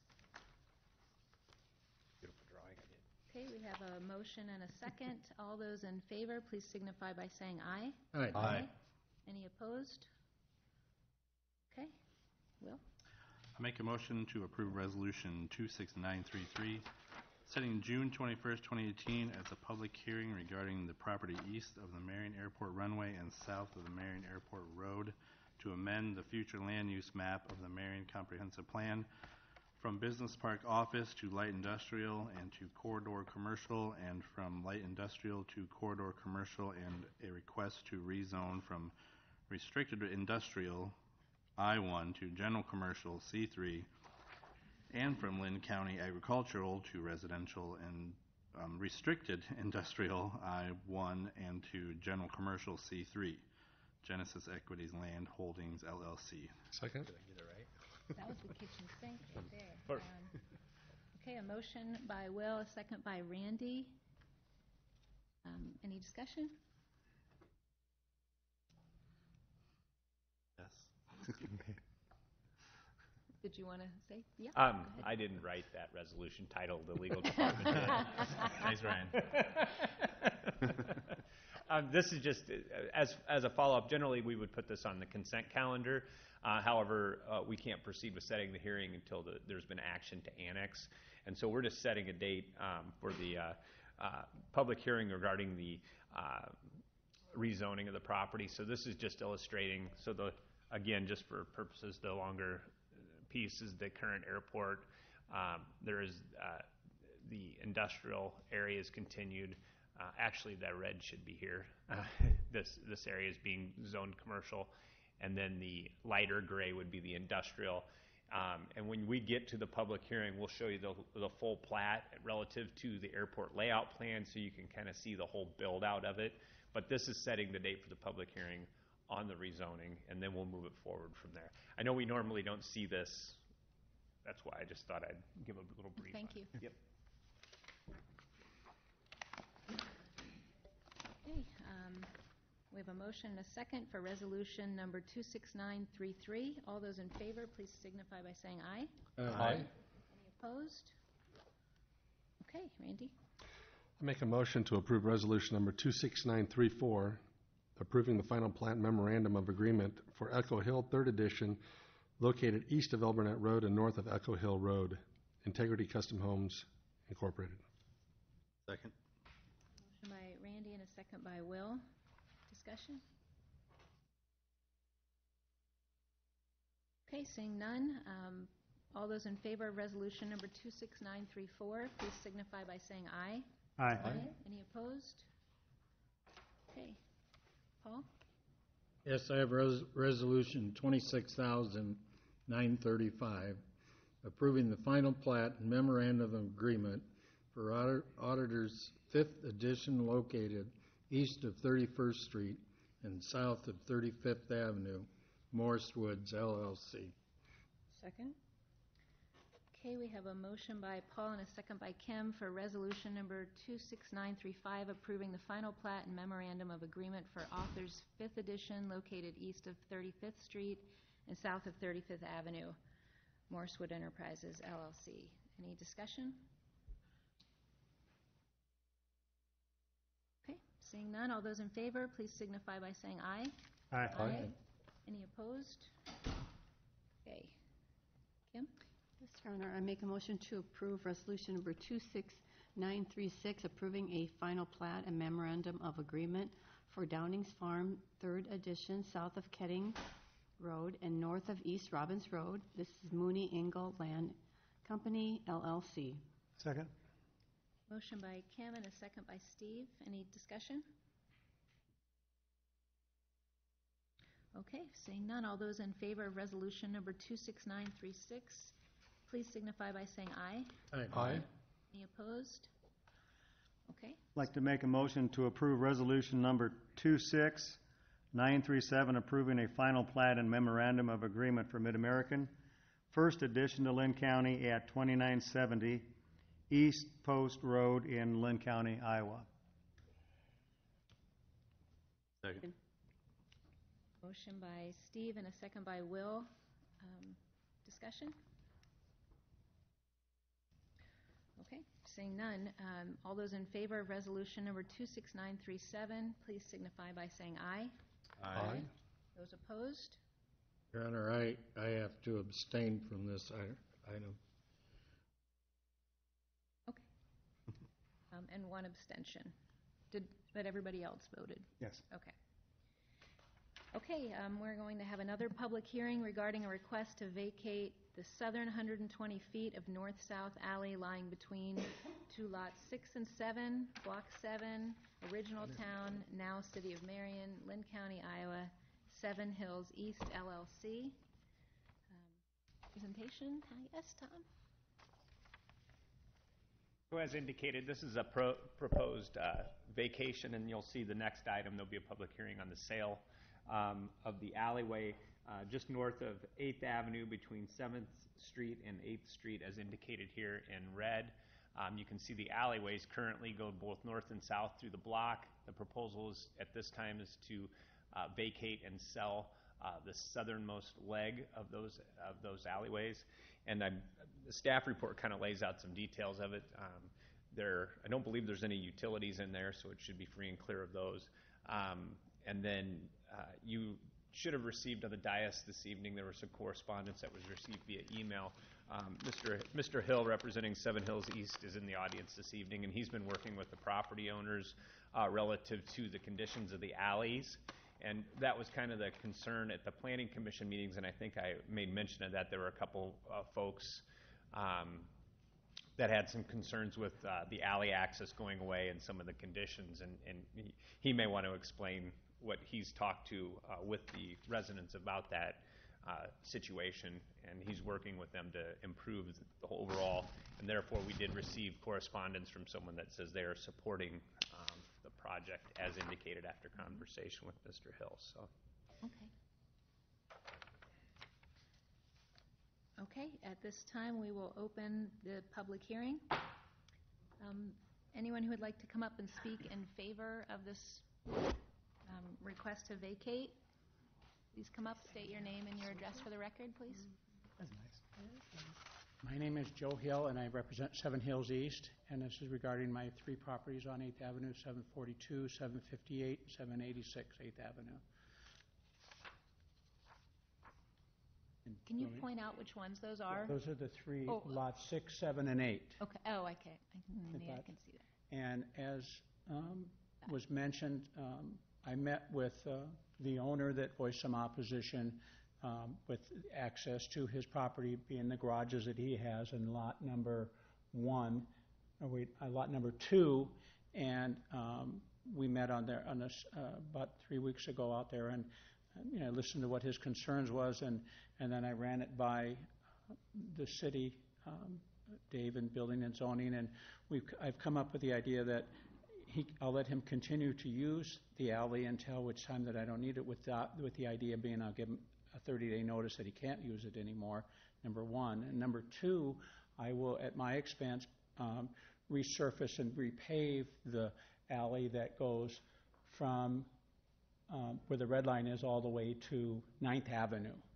Um, And so that will make it so, because his concern was that the alleyway was not, was impassable. It's not, it's not in the greatest of shape, and there's a lot of dips and, and, and bumps and different things in there, so. um, And, and today he's forwarded an email to me as well as to the city uh, that he says, if you're willing to do that and put it on the record, he says, I have no opposition to um, uh, you uh, having the alley vacated to, to you, so. Great. Thanks for um, working with the residents in the city to iron out that. And, and also today, I went over to Public Works to make sure that there was any, any issues that I might come up with, and then I spent time down here at the, um, talking to Tracy, um, as, as well, what I have to do to do that, and then the hold harmless agreements, and there's some other agreements that I may have to, um, do if, if there wasn't a curb cut that has to be done, there's a permit that has to be done. And whatever the city or whatever I need to do, I, I have no problem doing it. Um, In addition to that, um, there's another alleyway that goes to Seventh Street, and I, I, I've made it be known that I would do the same thing there. So, and right now, that, it's just, a- it's full of grass. And that's the one where there's no curb cuts on, and that's what, when I talked to um, the Public Works today, that, but that's,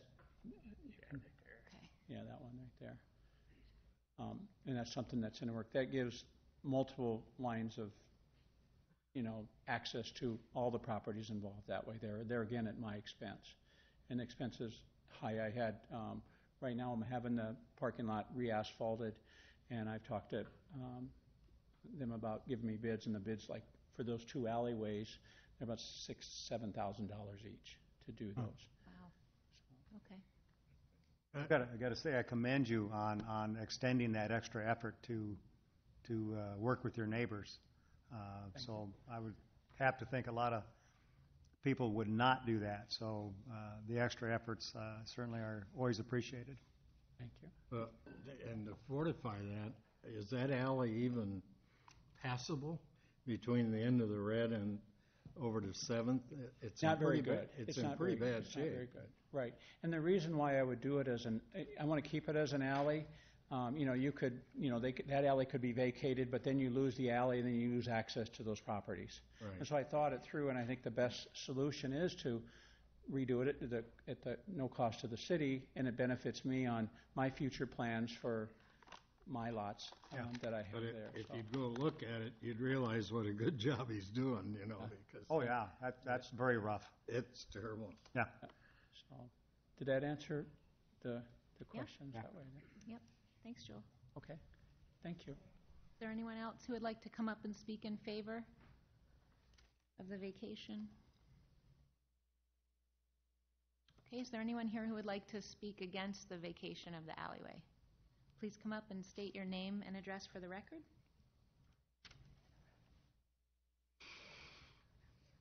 Mark Schleman, I own a property at 860 8th Street, and I need to know that I will have permanent access to the back of that property. He's saying it is. I just need it written that I will have access because I've got retaining wall along the whole front of the house. There's no parking in front of the house. And what I want to do is I want to put a couple parking spots in the back. And if I have permanent access, there is, I don't have an issue with what he's doing. But we also want a guarantee. I don't, um, okay, I mean, I- we don't speak on that at this time. We're just hearing from you. I think we can talk about that during discussion, but we certainly want lot to know are what you? your concerns are. Can you tell which house it is, Mark? Right here. Yeah, where, where, um, I right. Mark, where are you located? The property is 860 8th Street. So And the it's- only access to the house, really, because the retaining walls all along the front, is from the back. Right. Gotcha. You're talking about the east-west alley. East-west, yeah. Yeah. Okay. This is our It's a north-south right alley. here. We, wa- yeah, we had the one that's gonna be resurfaced, you said. Could you state your name and address too, just since you're in the audio? Sorry. You're fine. Just, Um, it's Lynn Schleman. okay. Um, okay. I don't know, can, I don't know that we can answer that at this time. Right now, we're just hearing from the public, but when we close the public hearing, we can discuss that. We can't make that guarantee at this moment for you. Okay, but the next thing is to purchase everything, so how do we guarantee our part of it if he's purchasing the other portion? Um, I think there's another public hearing for the purchase coming up right after this. This is just for the vacation. So there'll be, there'll be action. Once it's closed, there'll be action. Nope, that's fine. Yeah, that was my only concern. We, we just wanna make sure we have access, cause if you look at all the properties around here, they're all businesses except for our one residential property. And the only access we have, if trees fall down or anything else, is through that alleyway. Mm-hmm. It's not through the front. But don't you have access from the alleyway from 8th Street? No, Eighth there's not. Avenue or Street? Still trying to figure out where this. And Eighth Street is only parking on one side of the road, so that limits the number of parking too. That makes it even harder if they have visitors or you got business people that take up part of that road. I Is don't there think not that- an east-west alley there? It's an east-west alley, so how do you, That's been vacated. That's been vacated, that's not there. Wait a minute, It's I can't hear. grass. yeah? It's not being used, it's not. It's not It's usable? non-existent. No. Okay, that's what I wanted. It's, yeah, it's part of the parking lot for the complex that's on that side of it. And there's nothing between our house and their properties there because we have a fence right next to it.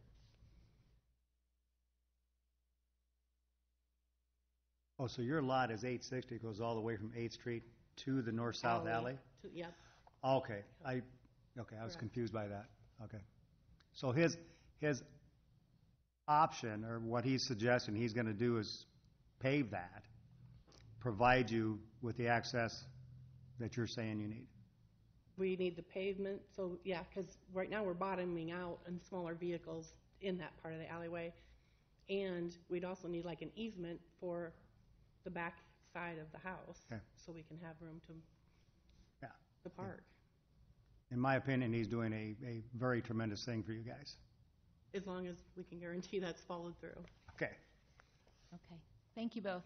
Did y'all um, get a yellow ticket earlier since you spoke? If you just could before you leave this evening, um, there are little yellow tickets up here, if you could fill them out. Thank you. And um, Joel, I'm not sure if you did as well. I sh- I meant to mention it. You have it? Terrific. Is there? Sure. Come back up and you got to give your name and address again, please. Joe Hill, Seven Hills East. Um, What they, the reason why I offered to, uh, to, uh, at my cost, do the alleyway going from the red all the way to Ninth Avenue and going to Seventh Street, there'll be two access points in, which will take away any concern that they have. The only, and, and I'm leaving, I'm, I'm not putting, you know, just like I'm giving Jamie, who's in lot number one, access to mine with his trailer until at which time I block, you know, at some point in time it'll be blocked, but I can't see it in the in the foreseeable near future. But in the interim, um, that's why I want to pave those two alleys, to keep them as alleys. There'll always be access to those, the- to the alley, which would be this one here Mhm. and this one here. So see, they would have access to the back side of their property at all times. So you feel comfortable with what they're asking? Yeah, That That's that- not an issue? In, in, in addition to that, I'll make them the same deal that they can continue to use the old alley, the vacated alley that we're here today for the hearing. Um, and I'll say, hey, I'm, I'm gonna no longer be able to do that, and I'll give you the thirty day notice, just like I offered to Jaime in, uh, or Jaime Hoff, the, con- the, the, the owner of unit, of the space number, yeah, lot number one the same offer that he did, it- you could still use the, the, the Eighth Avenue entrance, but it's, you know, everybody knows that Eighth Avenue is really busy. And if I get those two other alleyways paved, the access points are gonna, there's no traffic on the Ninth Avenue, and there's no, there's no traffic on the Seventh, um, Street as well. It's a lot easier to enter the property. As a matter of fact, for them, if I pave that other alley that's all grass back there now, it's a straight shot into their backyard. Okay. You see how they go straight Mhm. into the backyard there, so. Did- Did that, did that answer? Yeah, this is permanent access from Seventh Street and from Ninth Avenue, Yeah, correct? absolutely. Okay. Yeah, yeah, that That might, was just our main concern, because you Yeah. said something about shutting off, and no, no, just the, just the, the- just the alley space between the, where the red is. just one question. Wait, Mark, I'm sorry. Mark, you, you have to come up. Just, it's very official. Name and address again, and you can ask your question. Mark Schleman. What I have is, uh, are you gonna own these? Is it gonna be? No, no, I will This not. will still be city property? The still, the alleys will still be ci- city-owned property. That's exactly what I needed, thank you. Okay. That's all. Okay, very good. Okay. Okay. Thank you, Joel, for coming back up and clarifying that. Is there anyone um, else to speak against or to ask additional questions about this alley vacation? Okay, seeing none, the public hearing is closed. Um, I'd like to, Steve? I'd like to make a motion to approve resolution number 26938, approving a request to vacate the southern 120 feet of the north-south alley lying between two lots, six and seven, Block 7, Original Town, now City of Marion, Linn County, Iowa, Seven Hills East LLC. Second. Okay, we have a motion by Steve and a second by Kim for Resolution 26938. Any discussion? Any further discussion? Okay, seeing none, all those in favor, please signify by saying aye. Aye. Any opposed? Um, We have another public hearing regarding the sale of the vacated property described as the southern 120 feet of the north-south alley lying between two lots, six and seven, Block 7, Original Town, now City of Marion, Linn County, Iowa, Seven Hills East LLC. Tom, there's nothing new to add here. But I just, there was the conversation on the sale. So the red, the red portion is being sold, but the other alleys are, would remain public. And just for clarification, when you talk about permanent, so the alleys are, they're alleys now, access will be provided in perpetuity until such time someone made a request to vacate, and then the same process would follow through in the event someone chose Okay. to do that. So I, There's permanent never a forever. forever, right? There is Not a in this case. process, so I just want to make sure that Thank you. everybody's aware. We would be right back here doing the same thing from a public perspective. So you would be notified and if that's going to move forward, so. Thank you, Tom. Yep. Okay, at this time, if there's anyone who would like to come up and speak in favor of this um, sale, please come up and state your name and address.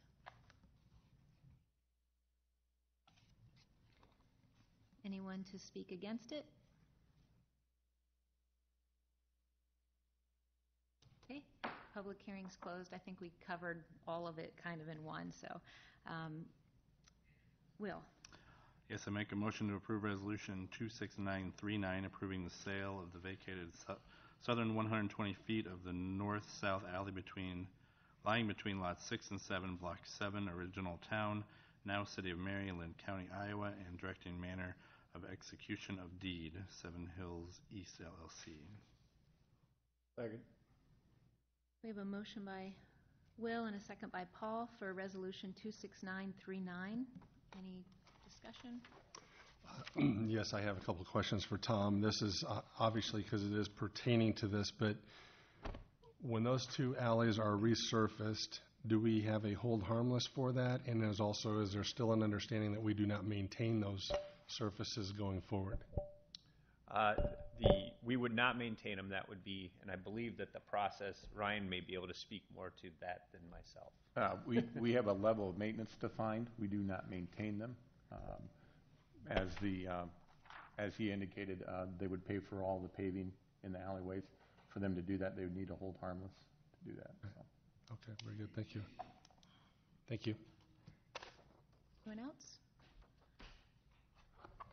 Okay, um, motion by Will, second by Paul. All those in favor, please signify by saying aye. Aye. Aye.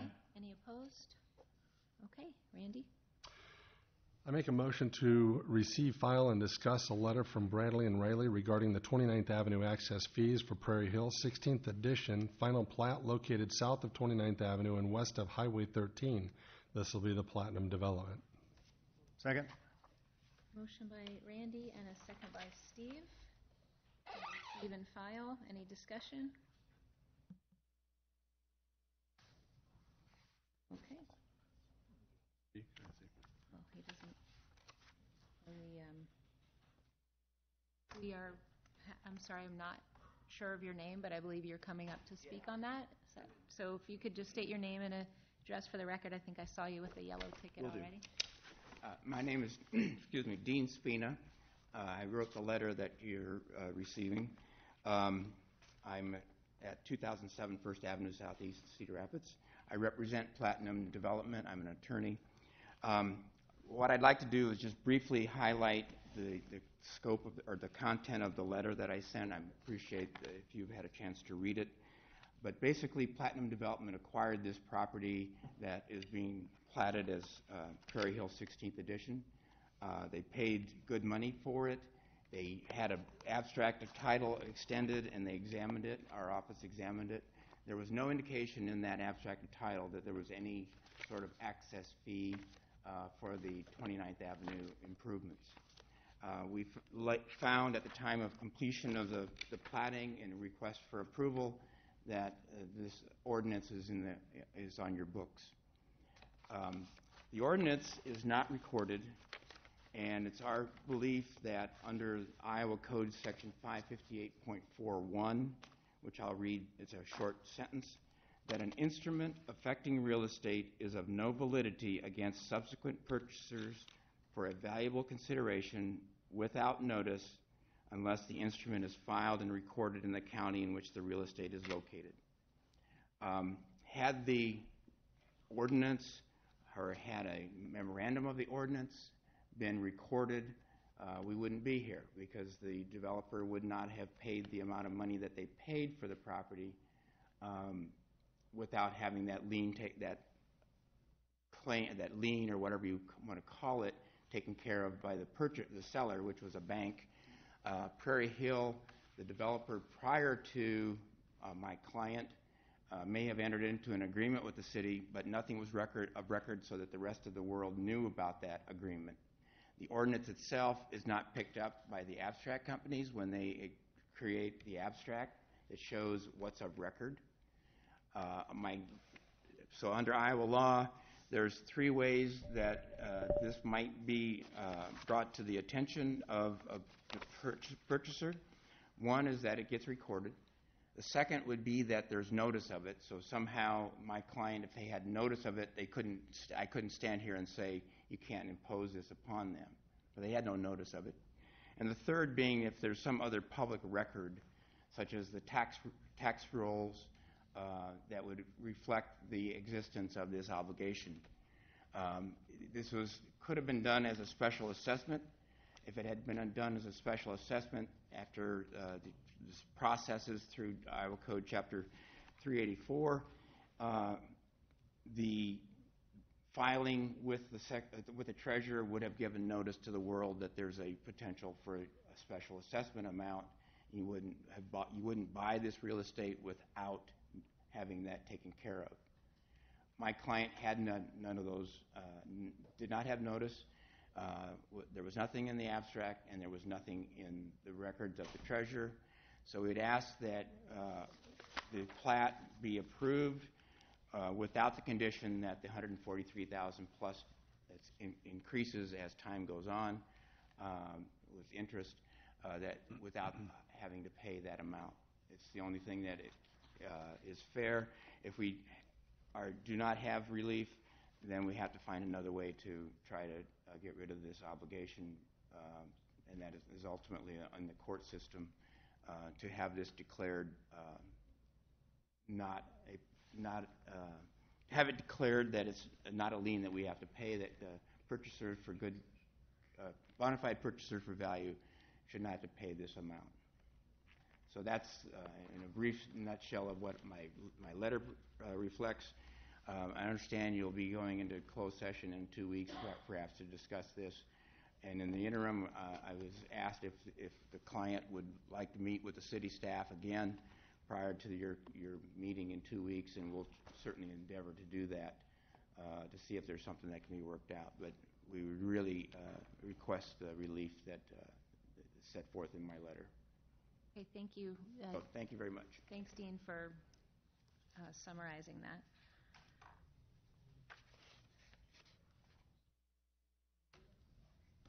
Okay, um, so we have a motion to receive, file, and discuss a letter. I don't know if um, anybody, yeah, I don't think discuss is appropriate on here. Um, Okay, all those in favor to receive and file this letter, please signify by saying aye. Aye. Aye. Any opposed? Okay, terrific. Moving on to administration. Paul? Yes, Your Honor, ordinance number eighteen seventeen, designating an area of Marion, Iowa as the two thousand eighteen Workforce Housing Urban Revitalization Area. And this is second consideration. Second? Okay, we have a motion by Paul and a second by Kim. Any discussion? Seeing none, um, all those in favor of ordinance number 18-17, please signify by saying aye. Aye. Any opposed? Okay, Kim? Yes, Your Honor, I make a motion to approve resolution number 26940, approving memorandum of under- understanding with Culver Enterprises LLC regarding tax increment financing incentives. Second. Okay, we have a motion by Kim and a second by Steve. Is, is this the one um, that Tuesday I asked if we could get, yeah, information about how the Economic Development Committee looked at this? Um, The pavers were what were in question. I don't believe I received anything. I don't know if anybody else I did. did not. Or, I know that y'all weren't here. I don't know if that was passed or, or what happened, but none of us has received that. Yeah, the uh, Economic Development Committee, when they took a look at this, uh, I think as the council is aware, um, there are provisions in the economic development policy relating to a couple of different things um, for businesses to be able to qualify for incentives. One is the but-for test, which we talk about a lot, that if we help with the, don't help with the project, it's not going to be able to proceed. The other one is the public purpose test. So we've applied the public purpose test most frequently to um, sprinkler systems in buildings where it's not required by code. The committee has consistently recommended approval of that to the city council. Uh, this was an unusual one in that it was a proposal from the builder to do stormwater improvements in excess of what was required by code. And this is an unusual property in that um, the back of the property angles over into a very large regional, regional detention basin that serves most of that area around Third Avenue. But as you get closer to 44th Street, it naturally flows towards the street, and it has a little stream that actually collects that water, goes under 44th, and goes over into Squaw Creek. And the committee deliberated on it for quite a while about how to approach this, whether or not um, this was something that should qualify for um, assistance under the public purpose test as well. And in the end, concluded that um, there was a, pu- a legitimate public purpose served by um, businesses that were going beyond code requirements. Um, and when you talk about why would we do something to incent businesses to go beyond code requirements for stormwater improvements, well, the simple fact of the matter is, is that current requirements for stormwater improvements simply aren't enough. You know, Marion has experienced it in 2002, 2008, 2010, 2013. Um, just doing the minimum isn't enough to reduce um, stormwater problems around the community and then further south of the community. So they, the recommendation was to bring a policy amendment to this proposal to the city council that businesses could qualify for the equivalent of one year 100% of tax rebate if they do stormwater improvements that are in excess of what's required by code. The idea was is that there would be a carrot there, but it would also be um, limited to just that one year. You could do it in in two years, 50%, three years, 33%. I mean, the structure can be done different ways, but uh, that was the idea, is that um, subsequent to the approval of this MOU and that discussion, that a, an addendum to the economic development policy outlining this would be brought forward to the city council for approval. Thank you. Um, Anyone have any questions or discussion? Yeah, some of the other discussion we had on Tuesday was just talking about the concern that the effectiveness of pavers like this is only going to benefit anybody as long as it's maintained in, in the proper manner, and that there's also already was discussion talking about uh, an area the city already had that maybe is not been maintained and therefore not being effective for its intended purpose. So, you know, I think you've got some concern about starting the precedent here, but yet doing it in an area that doesn't give you a long-term benefit. Yeah, and in most of cases, um, businesses that were going to come in and look at doing something like this would qualify underneath the stormwater policy. There's actually an incentive built into that.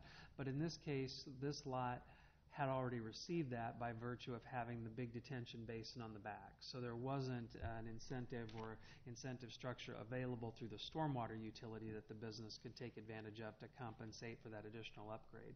So like I said, this is an unusual situation. It's, um, I don't know how much demand there would be for it, for something like that, but you're absolutely correct. Maintenance is critical on these type of passive uh, systems in order to be able to keep them functional. Um, even City Hall has ones that we have to periodically go out and maintain. Now, in talking with Steve Cooper, our stormwater coordinator, um, like anything else, the technology in these continues to advance, continues to get better, continues to become uh, more low maintenance. Um, I'm not sure what uh, his responsibilities are for an ongoing basis as far as inspections of these to make sure that they're being maintained and still in use. Uh, Mike might have some more insight on that than I do, but um, that would be something that I think we would bring back as part of the policy recommendations for council.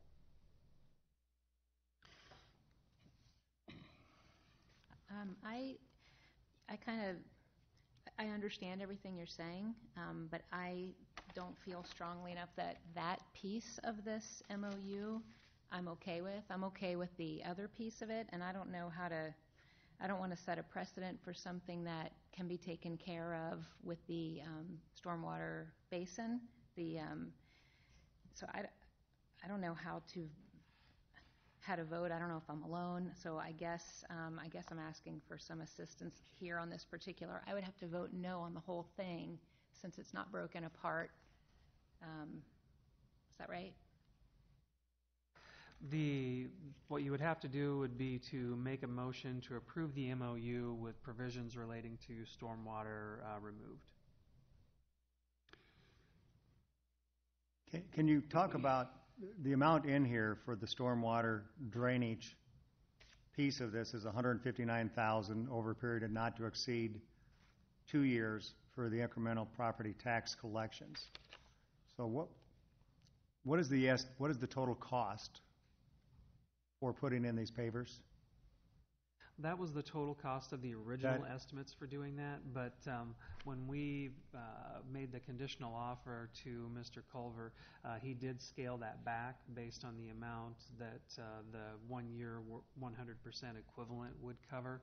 Um, We just put it in the agreement at the maximum of the request, knowing that it would be based off of actual invoices that he would have to provide for what it actually cost. Um, Everything that he had done so far was was engineer's estimates. And he hadn't gone to the point yet of even asking his engineer to come in and do the full redesign of the parking lot or anything like that. One more question. Is this, is this covering the entire parking lot or just an area of the parking lot? It's an area of the parking lot. Yeah.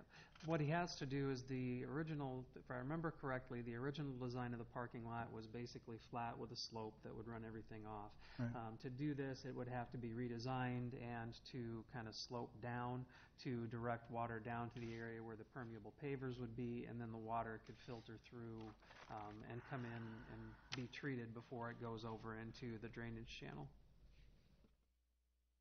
Okay.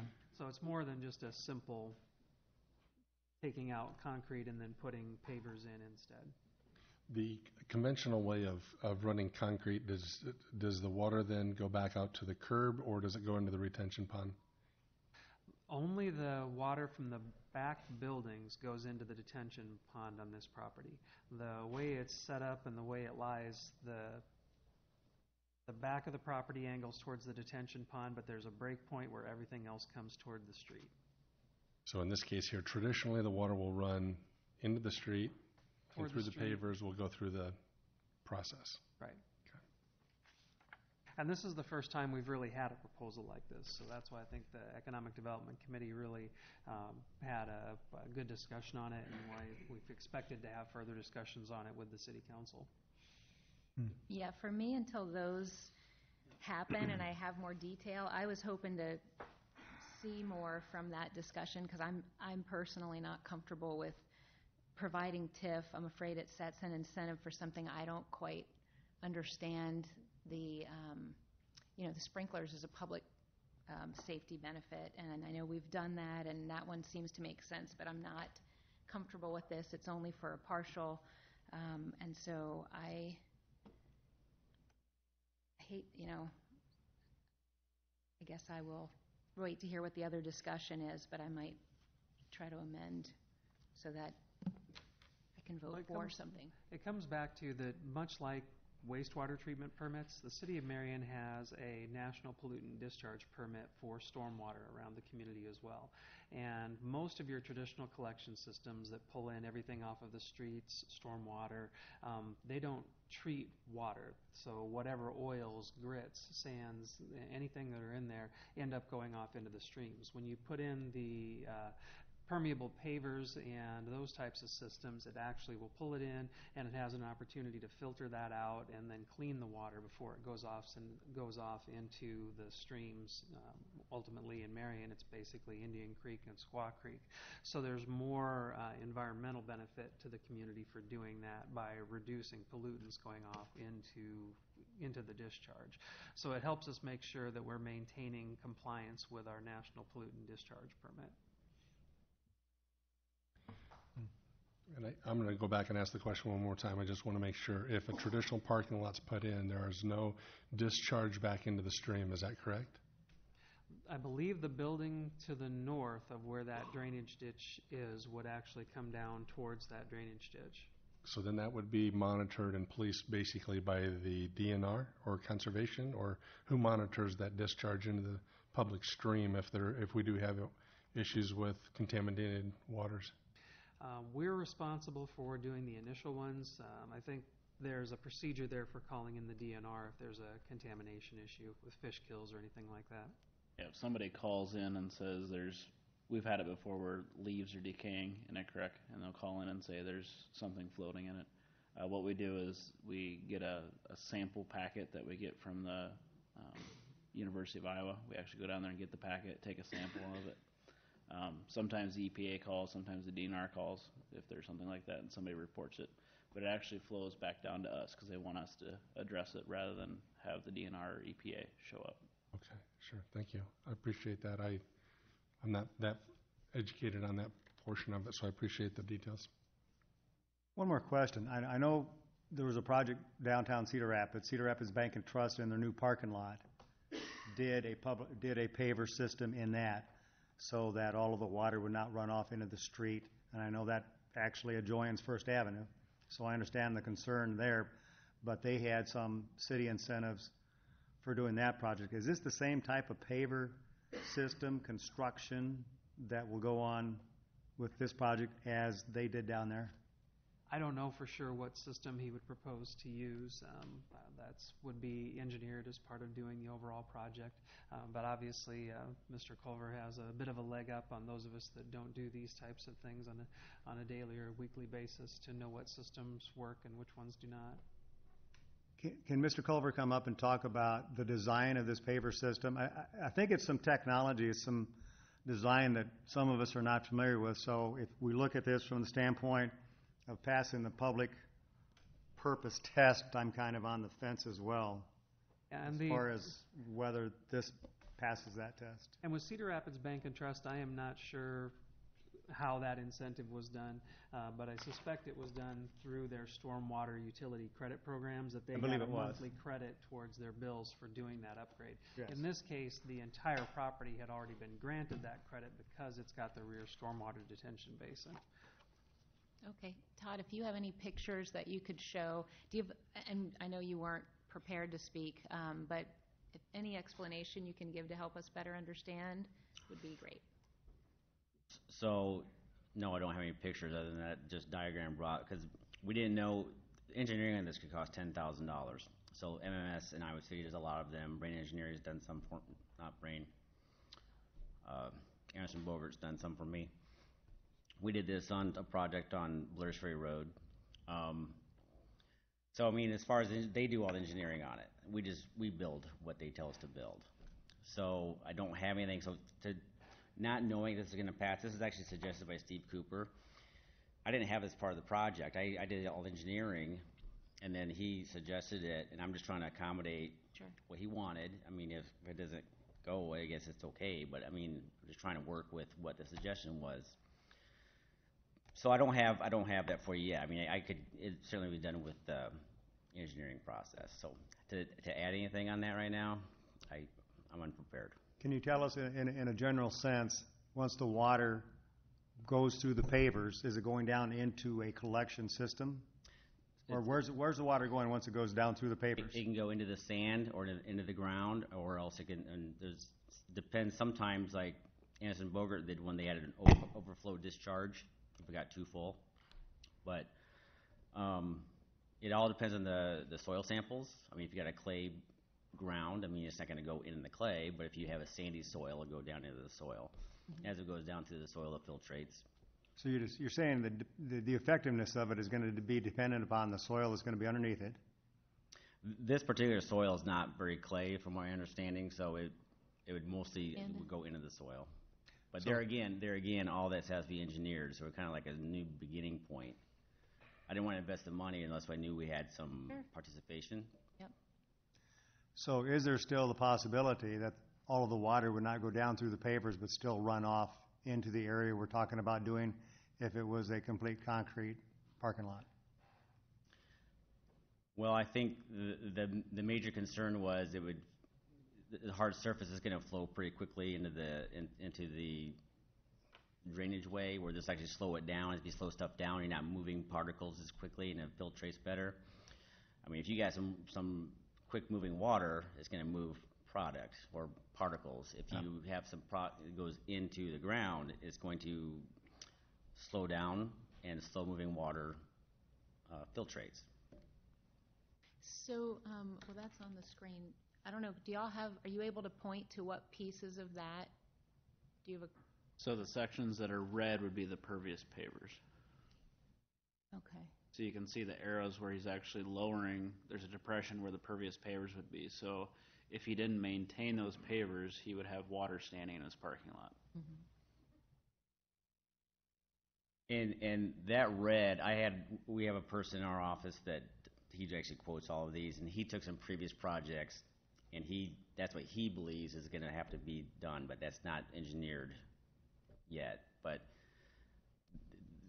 I know Steve this is, said the whole parking lot, but it's not necessary to do the whole parking lot, you just gotta be able to collect the parking lot into a section.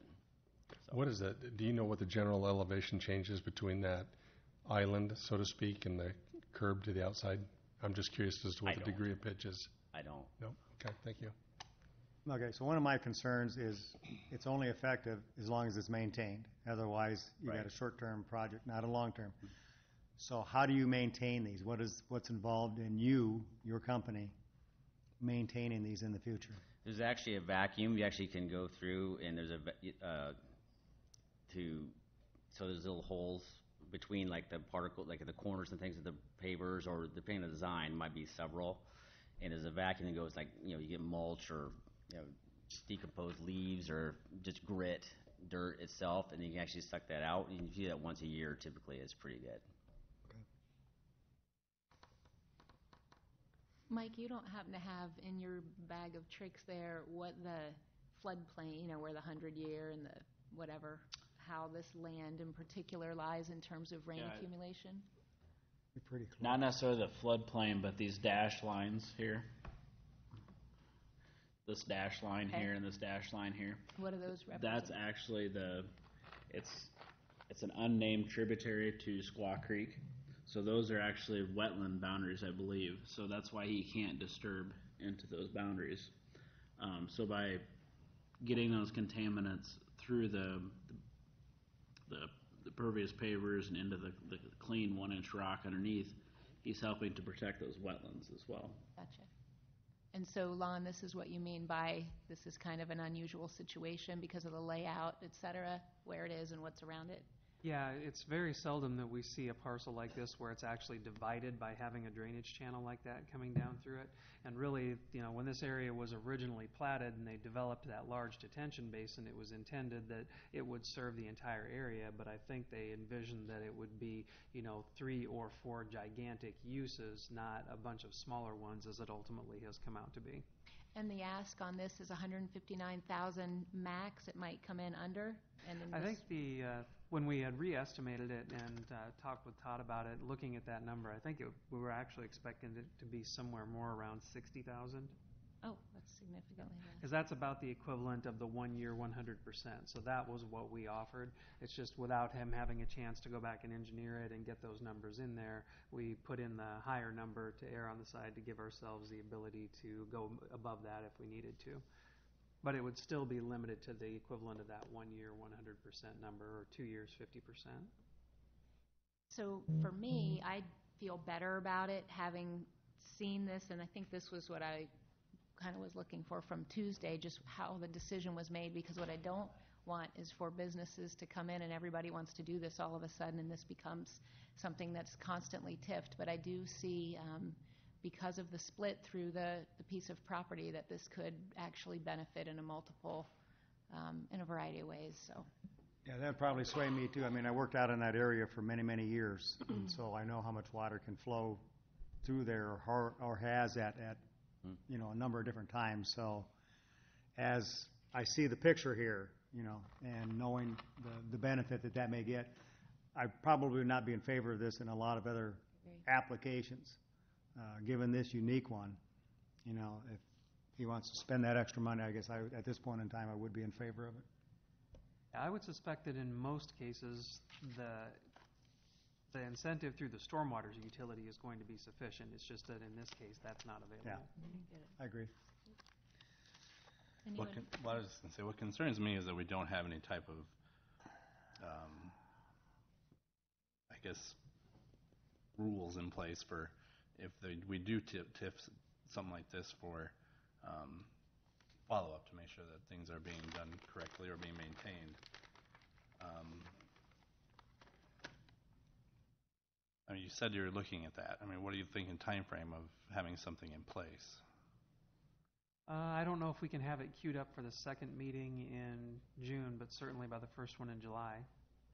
I mean, is that, if this were to be tabled till something like that was figured out, is that with your time schedule as far as uh, construction?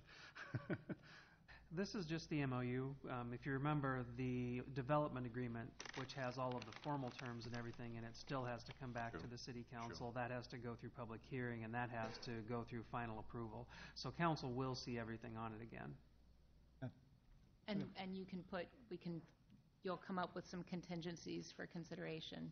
Yeah, I think it was the intent of the group. We wanted this type of thing to be fairly narrow because the intent of having a stormwater utility, of course, is that it should be standalone and should be able to fund the stormwater improvements and programs that you want throughout the community. But much like we ran into with the uh, development of Dr. Heinz Vet Clinic, there are some of these older parcels that were developed that we're running into some quirks with that uh, can be pretty tough to achieve your policy goals without providing a little bit of help. And don't get me wrong, I'm all for doing something like this. I just want to make sure there's some Yeah. provisions in That's a place good to point. make sure that I- I'd like to Done, make we mention that our family has a very similar building on 62nd. Now, I guarantee it's drier out there. We had to put a pond in. Frogs all died the first year because there's never any water in it. We get a tiny little bit of water off the drive like you're gonna, but not a lot, guys. I mean, it, we lost a, a big piece of that land with a pond out there. Todd, thanks for letting us put you on the spot. Thank you. Yep.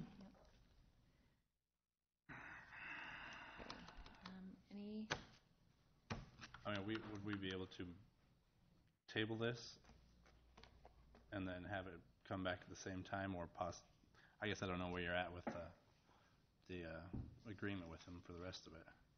Uh, It'll be a while before the development agreement comes back to the council because we have to do the urban renewal plan amendment and then bring the development agreement back. Uh, I don't know if we have that calendar yet for this one, but I don't think the development agreement probably would be back before August or September. So we potentially could revisit this Mhm. in July before everything's done. Final details. That'd be my suggestion, just to, The sense I'm getting from the council isn't necessarily about the, uh, the incentive in this particular project, that equivalent of 100% for one year, but more about what's the follow-up, the administrative provisions, and what do you do to qualify it to make sure that it doesn't just open up, uh, well, excuse the pun, a floodgate of people coming in looking Right. for uh, incentives for stormwater assistance. So we can make sure that the parameters are, would be fairly tight to very unique projects. Well, that, and to Will's point, I think, I don't know how once you give that incentive, if it's not maintained, if a penalty or some kind of payback could be instituted so that the city could get its money back for something they incented that isn't being followed through with, which is what I, like, I don't know if that's part of what y'all are considering. Um, I get that it's narrow, and I do understand in this particular case how it could be a benefit. Um, And normally that, that type of provision is not something that would show up in the MOU, but it would show up in the development agreement. The most common way communities do that is to provide the incentive but tie it to a forgivable loan or something like that, so that there's a check-in period, you know, at five years or 10 years that it gets inspected to make sure it's been maintained and still is in operation, so there's a clawback provision in the agreement. But if you I'm want to, feel free. Fine Yeah. with that. Okay. Anyone else? Anyone want to make any kind of different motion before we? Okay. I So- just, well, I oh, would yeah. just say, I- I would like to see that in the, in the agreement in the future. coming. I think what makes this one difficult for me is it's not a one and done. You know, if we do put something in an agreement, who's going to police it? That's why we need to have Right. something in. I mean, until somebody says, yes, it's pooling and ponding, and it's not doing what it was designed to do, we just paid for a parking lot. I'm a little, I'm still way on the fence on this one myself, and I, I appreciate the work that's going into it, I understand it, but because we're trying to keep things out of that creek, and obviously out of the storm sewer, but if it, if it fails, it's going to continue to do the same thing. And if I understand this correctly, flash, flash flooding is going to do the same as well.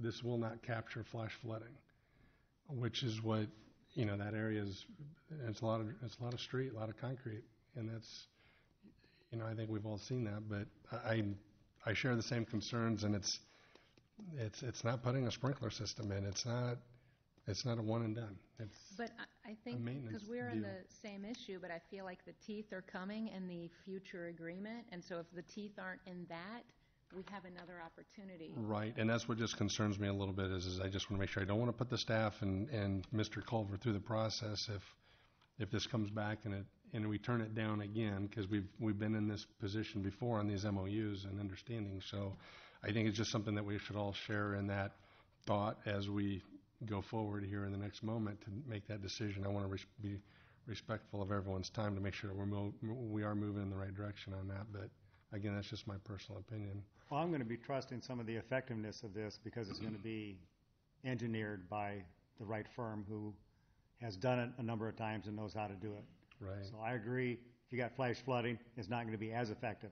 But for the majority of the rains, it should do its intended purpose if engineered correctly and built correctly. So And- I'm and kind of going on ma- that. and maintenance. Maintain. And maintained And- correctly. And the Okay. other piece that I think helps it is it's not the entire parking lot, No.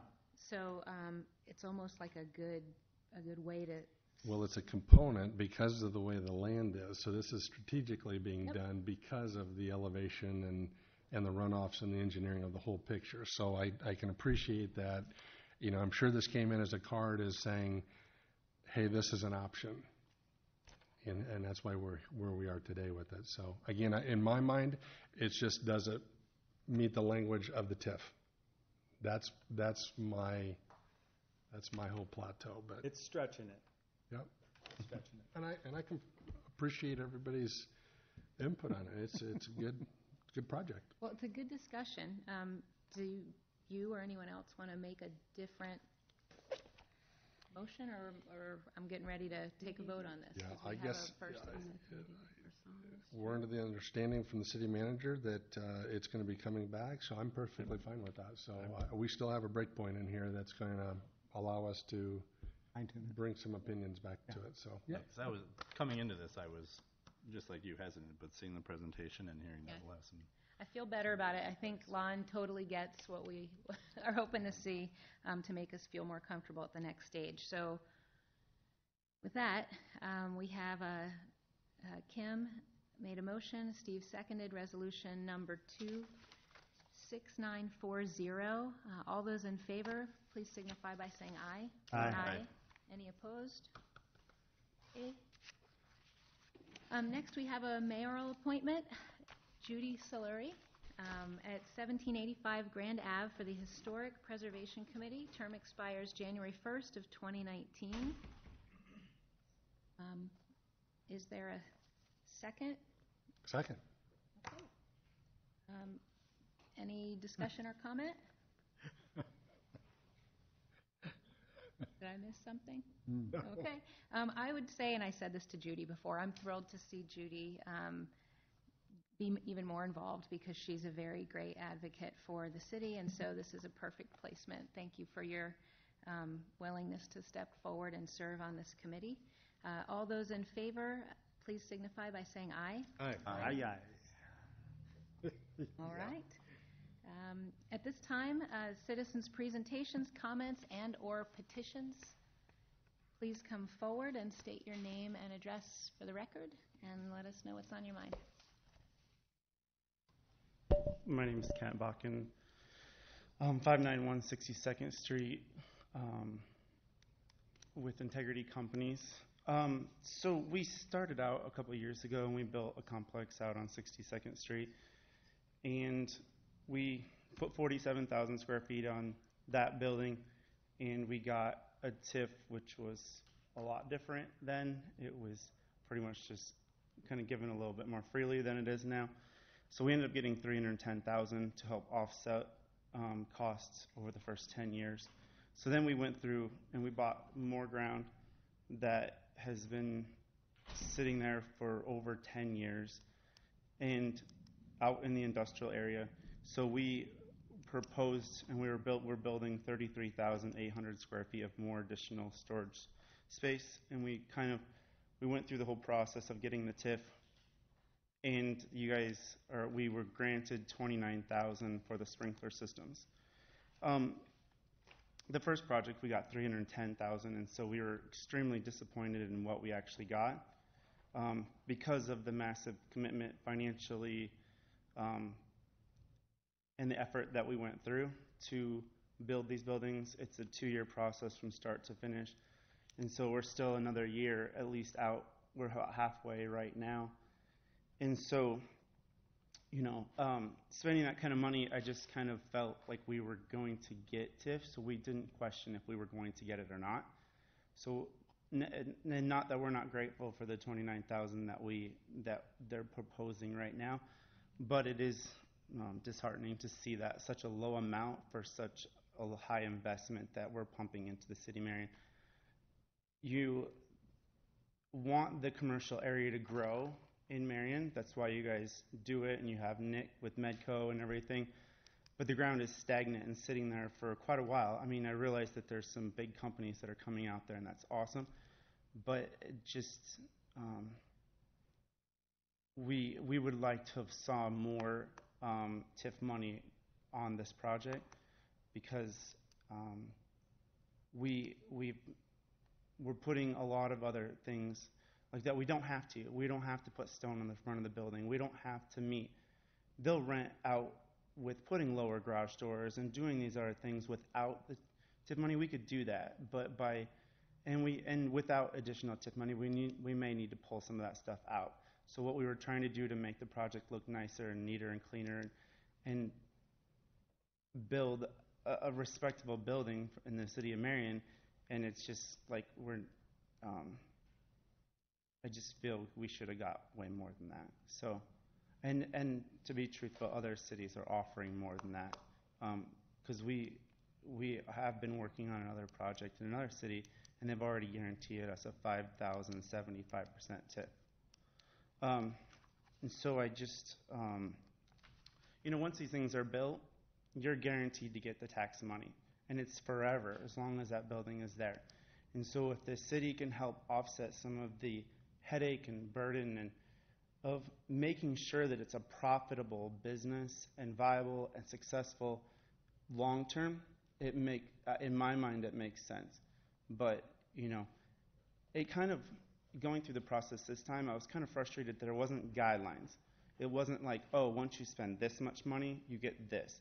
Once you do, just like Todd and his pavers, it's kind of like, I know every example is different, but it just like, you know, just like Todd is putting tons of money into these businesses and buildings and stuff, and it would be nice to know, okay, at what point you actually get TIF or how much TIF, because um,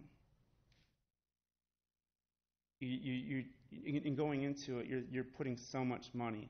I mean, I got millions in loans and, and, and cash into these buildings. I mean, between the two now, we'll have about five million into the, in, in loans and cash into these two build, two facilities. And it seems like we should be getting something more for this portion of it. And so I just, I wanted to ask for the reconsideration to have it reviewed again and to see if there was anything else we could get. So, Oh, um, if anybody has anything to say, I mean, I'd, I'd, I would ask, Lon, this went through the committee, it came to us, we made a vote. Um, I appreciate your commitment and your, your business to Marion. I, um, I don't know that we can ask for them to look at it again and see if they would make a recommendation. Okay. I, um, I think that, that we probably could ask them to look and see if there's something to bring forward, but, you know, I, Yeah. We lean on heavily, as you can see. This is Sure. what they do all day. It's not what we do all day. We look at the synopsis of all of that and then judge it. But I, I appreciate your Yeah. willingness to come forward and respectfully And state your okay. disagreement with our, our motion, or our outcome. Yeah, if I would have known we weren't getting the TIF, I would have never done the project, or I would have broke it into smaller portions. And it, um, but by doing it larger, you guys get more taxes up front. Instead of it taking a four-year project, it's going to be done in one year. You know, and I and I I know you guys understand TIF, but you know, it's it's money that's not received yet, but it helps. I mean, if you want the area to grow and you want things to happen, then you need to help help make them successful. I mean, it helps in every aspect for them financing to, you know, um, just making sure it's viable. And like I said when we I was here last time, you know, sometimes you end up helping small businesses get in the door, get get them to help them start building their business. And we do do a lot of concessions with small businesses, and we help them move up. And they they start in a smaller space, and we we knock off a hundred or two hundred dollars a month and get them in that space, help them start to grow, and then move them to a new space as they can, and help them grow. And and I know our business is different than a lot of other businesses with TIF and stuff, but it just um, we've watched so many small businesses in the last two years grow in our buildings, and there are people that most likely are going to go to more uh, bigger spaces because their business is growing and they're they're wanting new bigger space. So it I think it it all helps, you know, and and that area on the other side of the interstate is just starting to grow with what Mike Esker and them guys are doing with the hotels and everything in the corner. But another night I was here at this city council meeting and he was excited that we're doing it, but you know, he's trying to get restaurants and stuff to go out there, but they need more people, they need more businesses. So by helping get people out there, like with what Nick and Medco and everyone are doing, it's it's great. I just I just kind of felt um, let down by the amount that we received, and so I I think it's not just me, but it's everyone that's once you're kind of stepping across a threshold of what you're spending, is there not a consideration from from a TIF standpoint of, of, of some kind of tax relief? But isn't know? the TIF consideration typically done at the initial stages before a project is being undertaken so that the business owner knows what the amount of that TIF may be and how they can justify it in their project? So typically, a TIF application doesn't occur in the middle of a project. It happens at the No. very initial stages. And, and I understand why you'd be raising the questions and making the comments you are if there's, with the significant difference that you have between the two projects. Can you recall on the, on his initial one, why he got the amount he did on the initial project and what the Yeah, rationale the- was for that versus the- the difference in now? The first phase was done um, before the current economic development policy was enacted. And um, we changed the way that we did TIF considerably after the state took a big whack at it There's with some legal changes because they were very concerned that cities were abusing it and that it was not being used for its original intended purposes. So we did really tighten things down. Now, when Kent uh, proposed his first project, the big hook on that one was that exactly what he talked about. Um, by using the tax increment financing incentive, he was going to be able to complete what could have been a five-year project in just a couple of years. So there Mhm. is an acceleration clause e- even now in the economic development policy. But uh, when the first time that he applied, um, at the city at that time we worked with the lender. The lender came back to us and certified that yes, if you provide this, Kent's going to be able to complete the project much more quickly, which created more, as he's correct, more tax base more quickly on the tax rolls. So that was why the original one went through. Uh, since then, you know, in reaction to the legal changes and the increased scrutiny of TIF, we did change our process, and then we um, have just started running businesses through the financial analysis under the terms of the economic development policy. Ryan, did you want to say something? I just wanted to note, again, uh, this is, these are non-agenda items. Uh, It's certainly one thing to hear the comment from the citizens and, and, you know, absorb it. Um, We just got to make sure we aren't actually really deliberating. I, I don't think any council members have crossed that line yet, but uh, as we get, as we get, uh, if we get into more of a Q and A, Yep. we're, we're drifting towards that territory. So I just want to caution everyone. Thank you, Got Ryan. it. So um, I would just say, and I agree with Lon, I was going to, I know the legislation has changed and tightened up because there has been abuse. Um, I can't be the only one, as my understanding, to ask, um, you know, Lon and the group to go back and um, take a look. I think that has to be multiple of us. It can't just be any one person, but um, we obviously hear you. We love that you're doing business here. Um, and, you know, perhaps they can take a, a look and see if there's something else in there that is worth bringing it back to us because something's changed.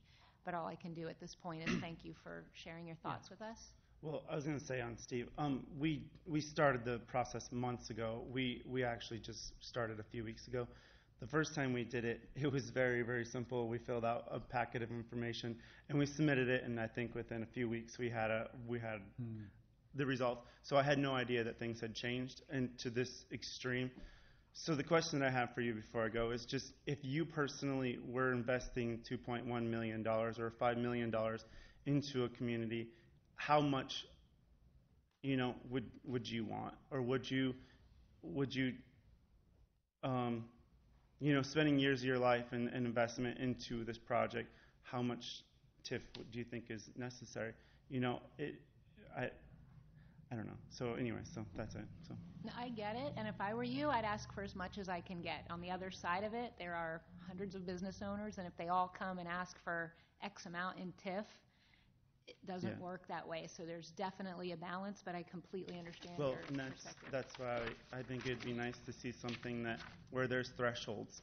Once you spend this much, you spend five hundred thousand or a million or two million or ten million, you know, and I know there's a lot of big companies being built out there and they're, you know, and they're, they're getting TIF because they're huge buildings and stuff. You know, it, it, they're getting discounted ground, they're getting TIF money, they're getting concessions, cash, whatever it is from the city and from the economic board and stuff. So it just, um, I guess it would be nice to see more of a, okay, this is, this Some is where you come in at. Yep. Instead of going through the whole process and then getting twenty-nine thousand. So, Okay, that, I think that's a very, very fair point. Yeah. So, all right. If it's, Thanks, o- if it's all right with the council, I think we'll put a, I'll put a discussion item on the next agenda for the economic development policy so that we can just kind of walk through it so that you can see the provisions in it. Um, we can give you what the blank application packet looks like so you can kind of see the process that everything walks through.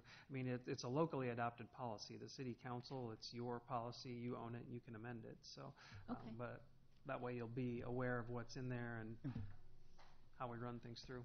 great idea. Great. Okay, Thank you guys Kent. for your time. Appreciate Yep. it. Anyone else want to come forward?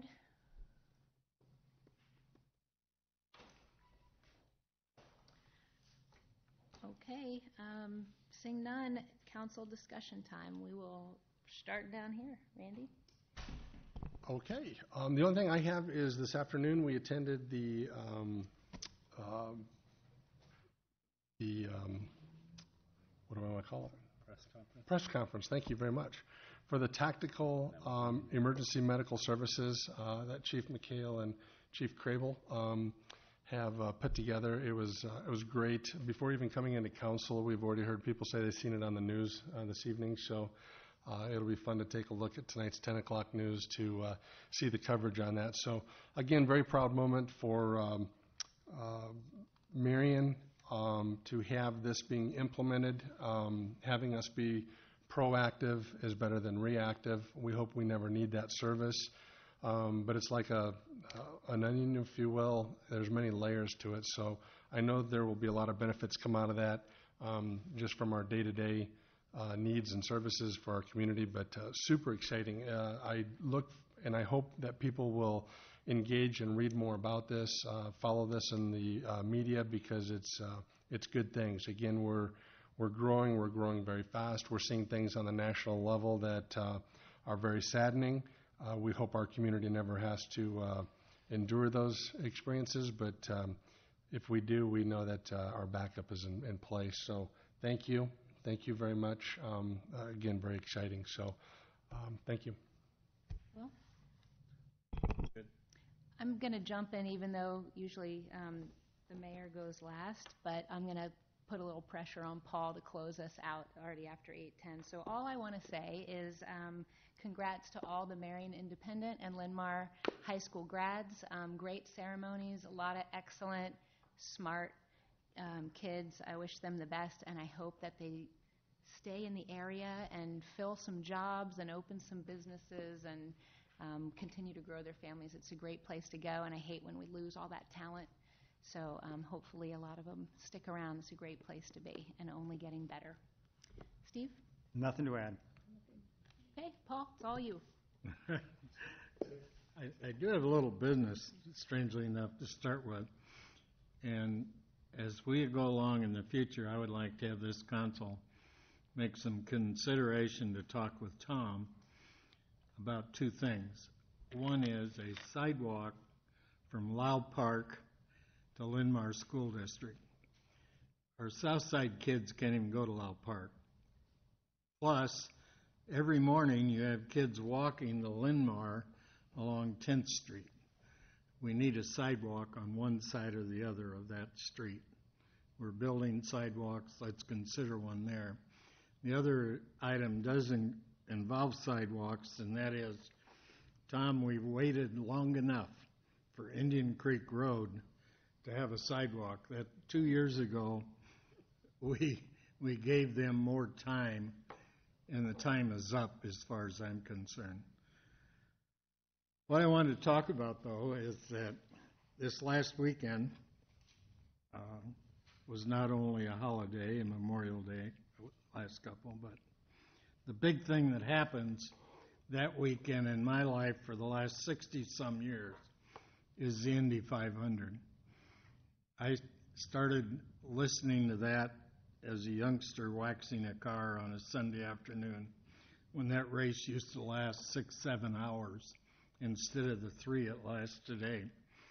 Well, I got thinking about it a little bit, and I can tell you I've been there 49 times out of 103 races. Paul has been there 49 times, started when he was in college.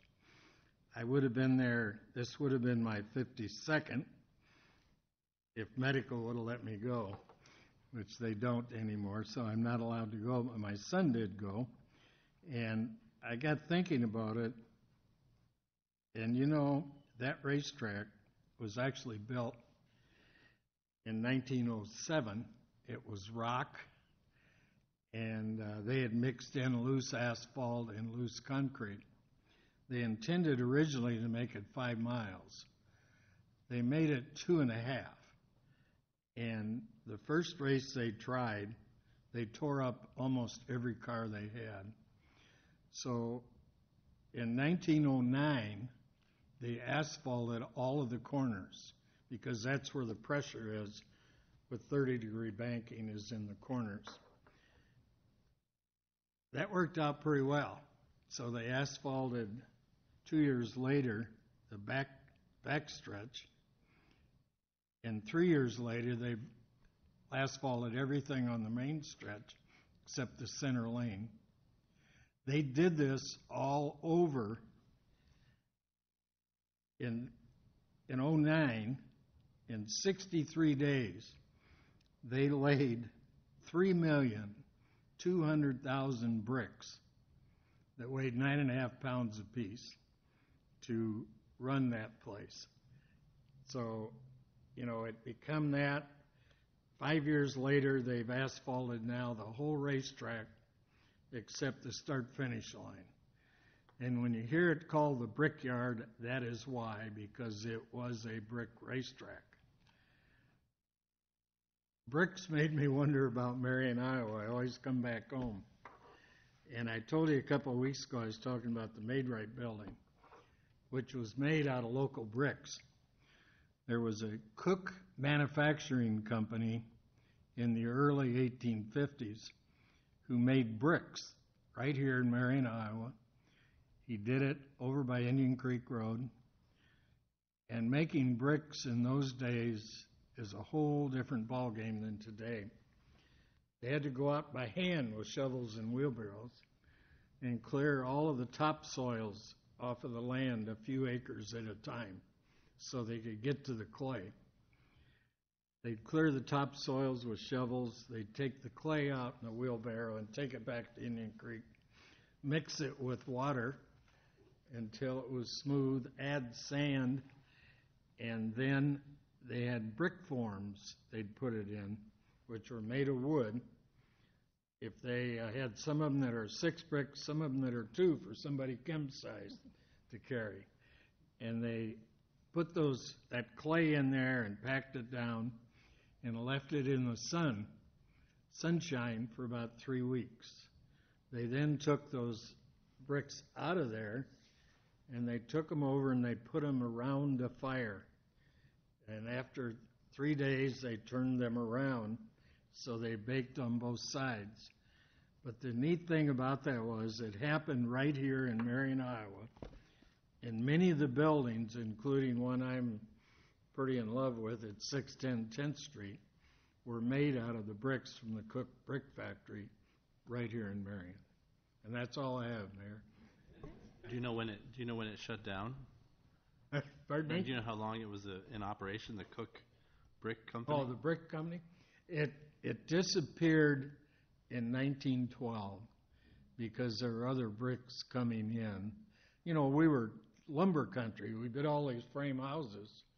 And that's why our brick houses of that era are so cherished because, you know, like the History Center. The History Center is from, made from bricks from the Cook Brick Factory. And those buildings, and we have one across from the library that I hope we're able to save, is a brick building that came from that brick factory. And uh, so, you know, it didn't last a long time. The bricks, incidentally, in 1888 in the depot, came in here by train from Pennsylvania. When we cleaned over 130,000 bricks, we found one brick with a brick mark on it with that company's name on it. We still have that brick.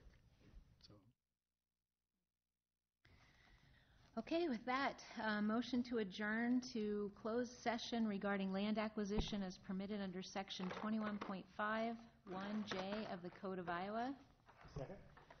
Okay, motion and second. All those in favor, please signify by saying aye. Aye. Aye. Aye. Sorry, we need the attorney's Roll opinion call. and a roll call for Oh. that. Please, Mr. Tang. My moment to shine. Your Honor, I have reviewed the subject matter, and it is my legal opinion that pursuant to Iowa Code Section 21.5 Sub 1 Sub J, that it is appropriate se- uh, material to review in closed session, and I recommend that the council adjourn to closed session to discuss it. Thank you, and thank you, Beth. Um, All those in favor, please signify by saying aye. Oh, roll call. Okay, roll call vote? Mr. Draper? Yes. Ms. Etzel? Yes. Mr. Jensen? Yes. Ms. Gadelha? Yes. Mr. Brandt? Yes. Mr. Strnad? Yes. Thank you very much. Okay, thank you.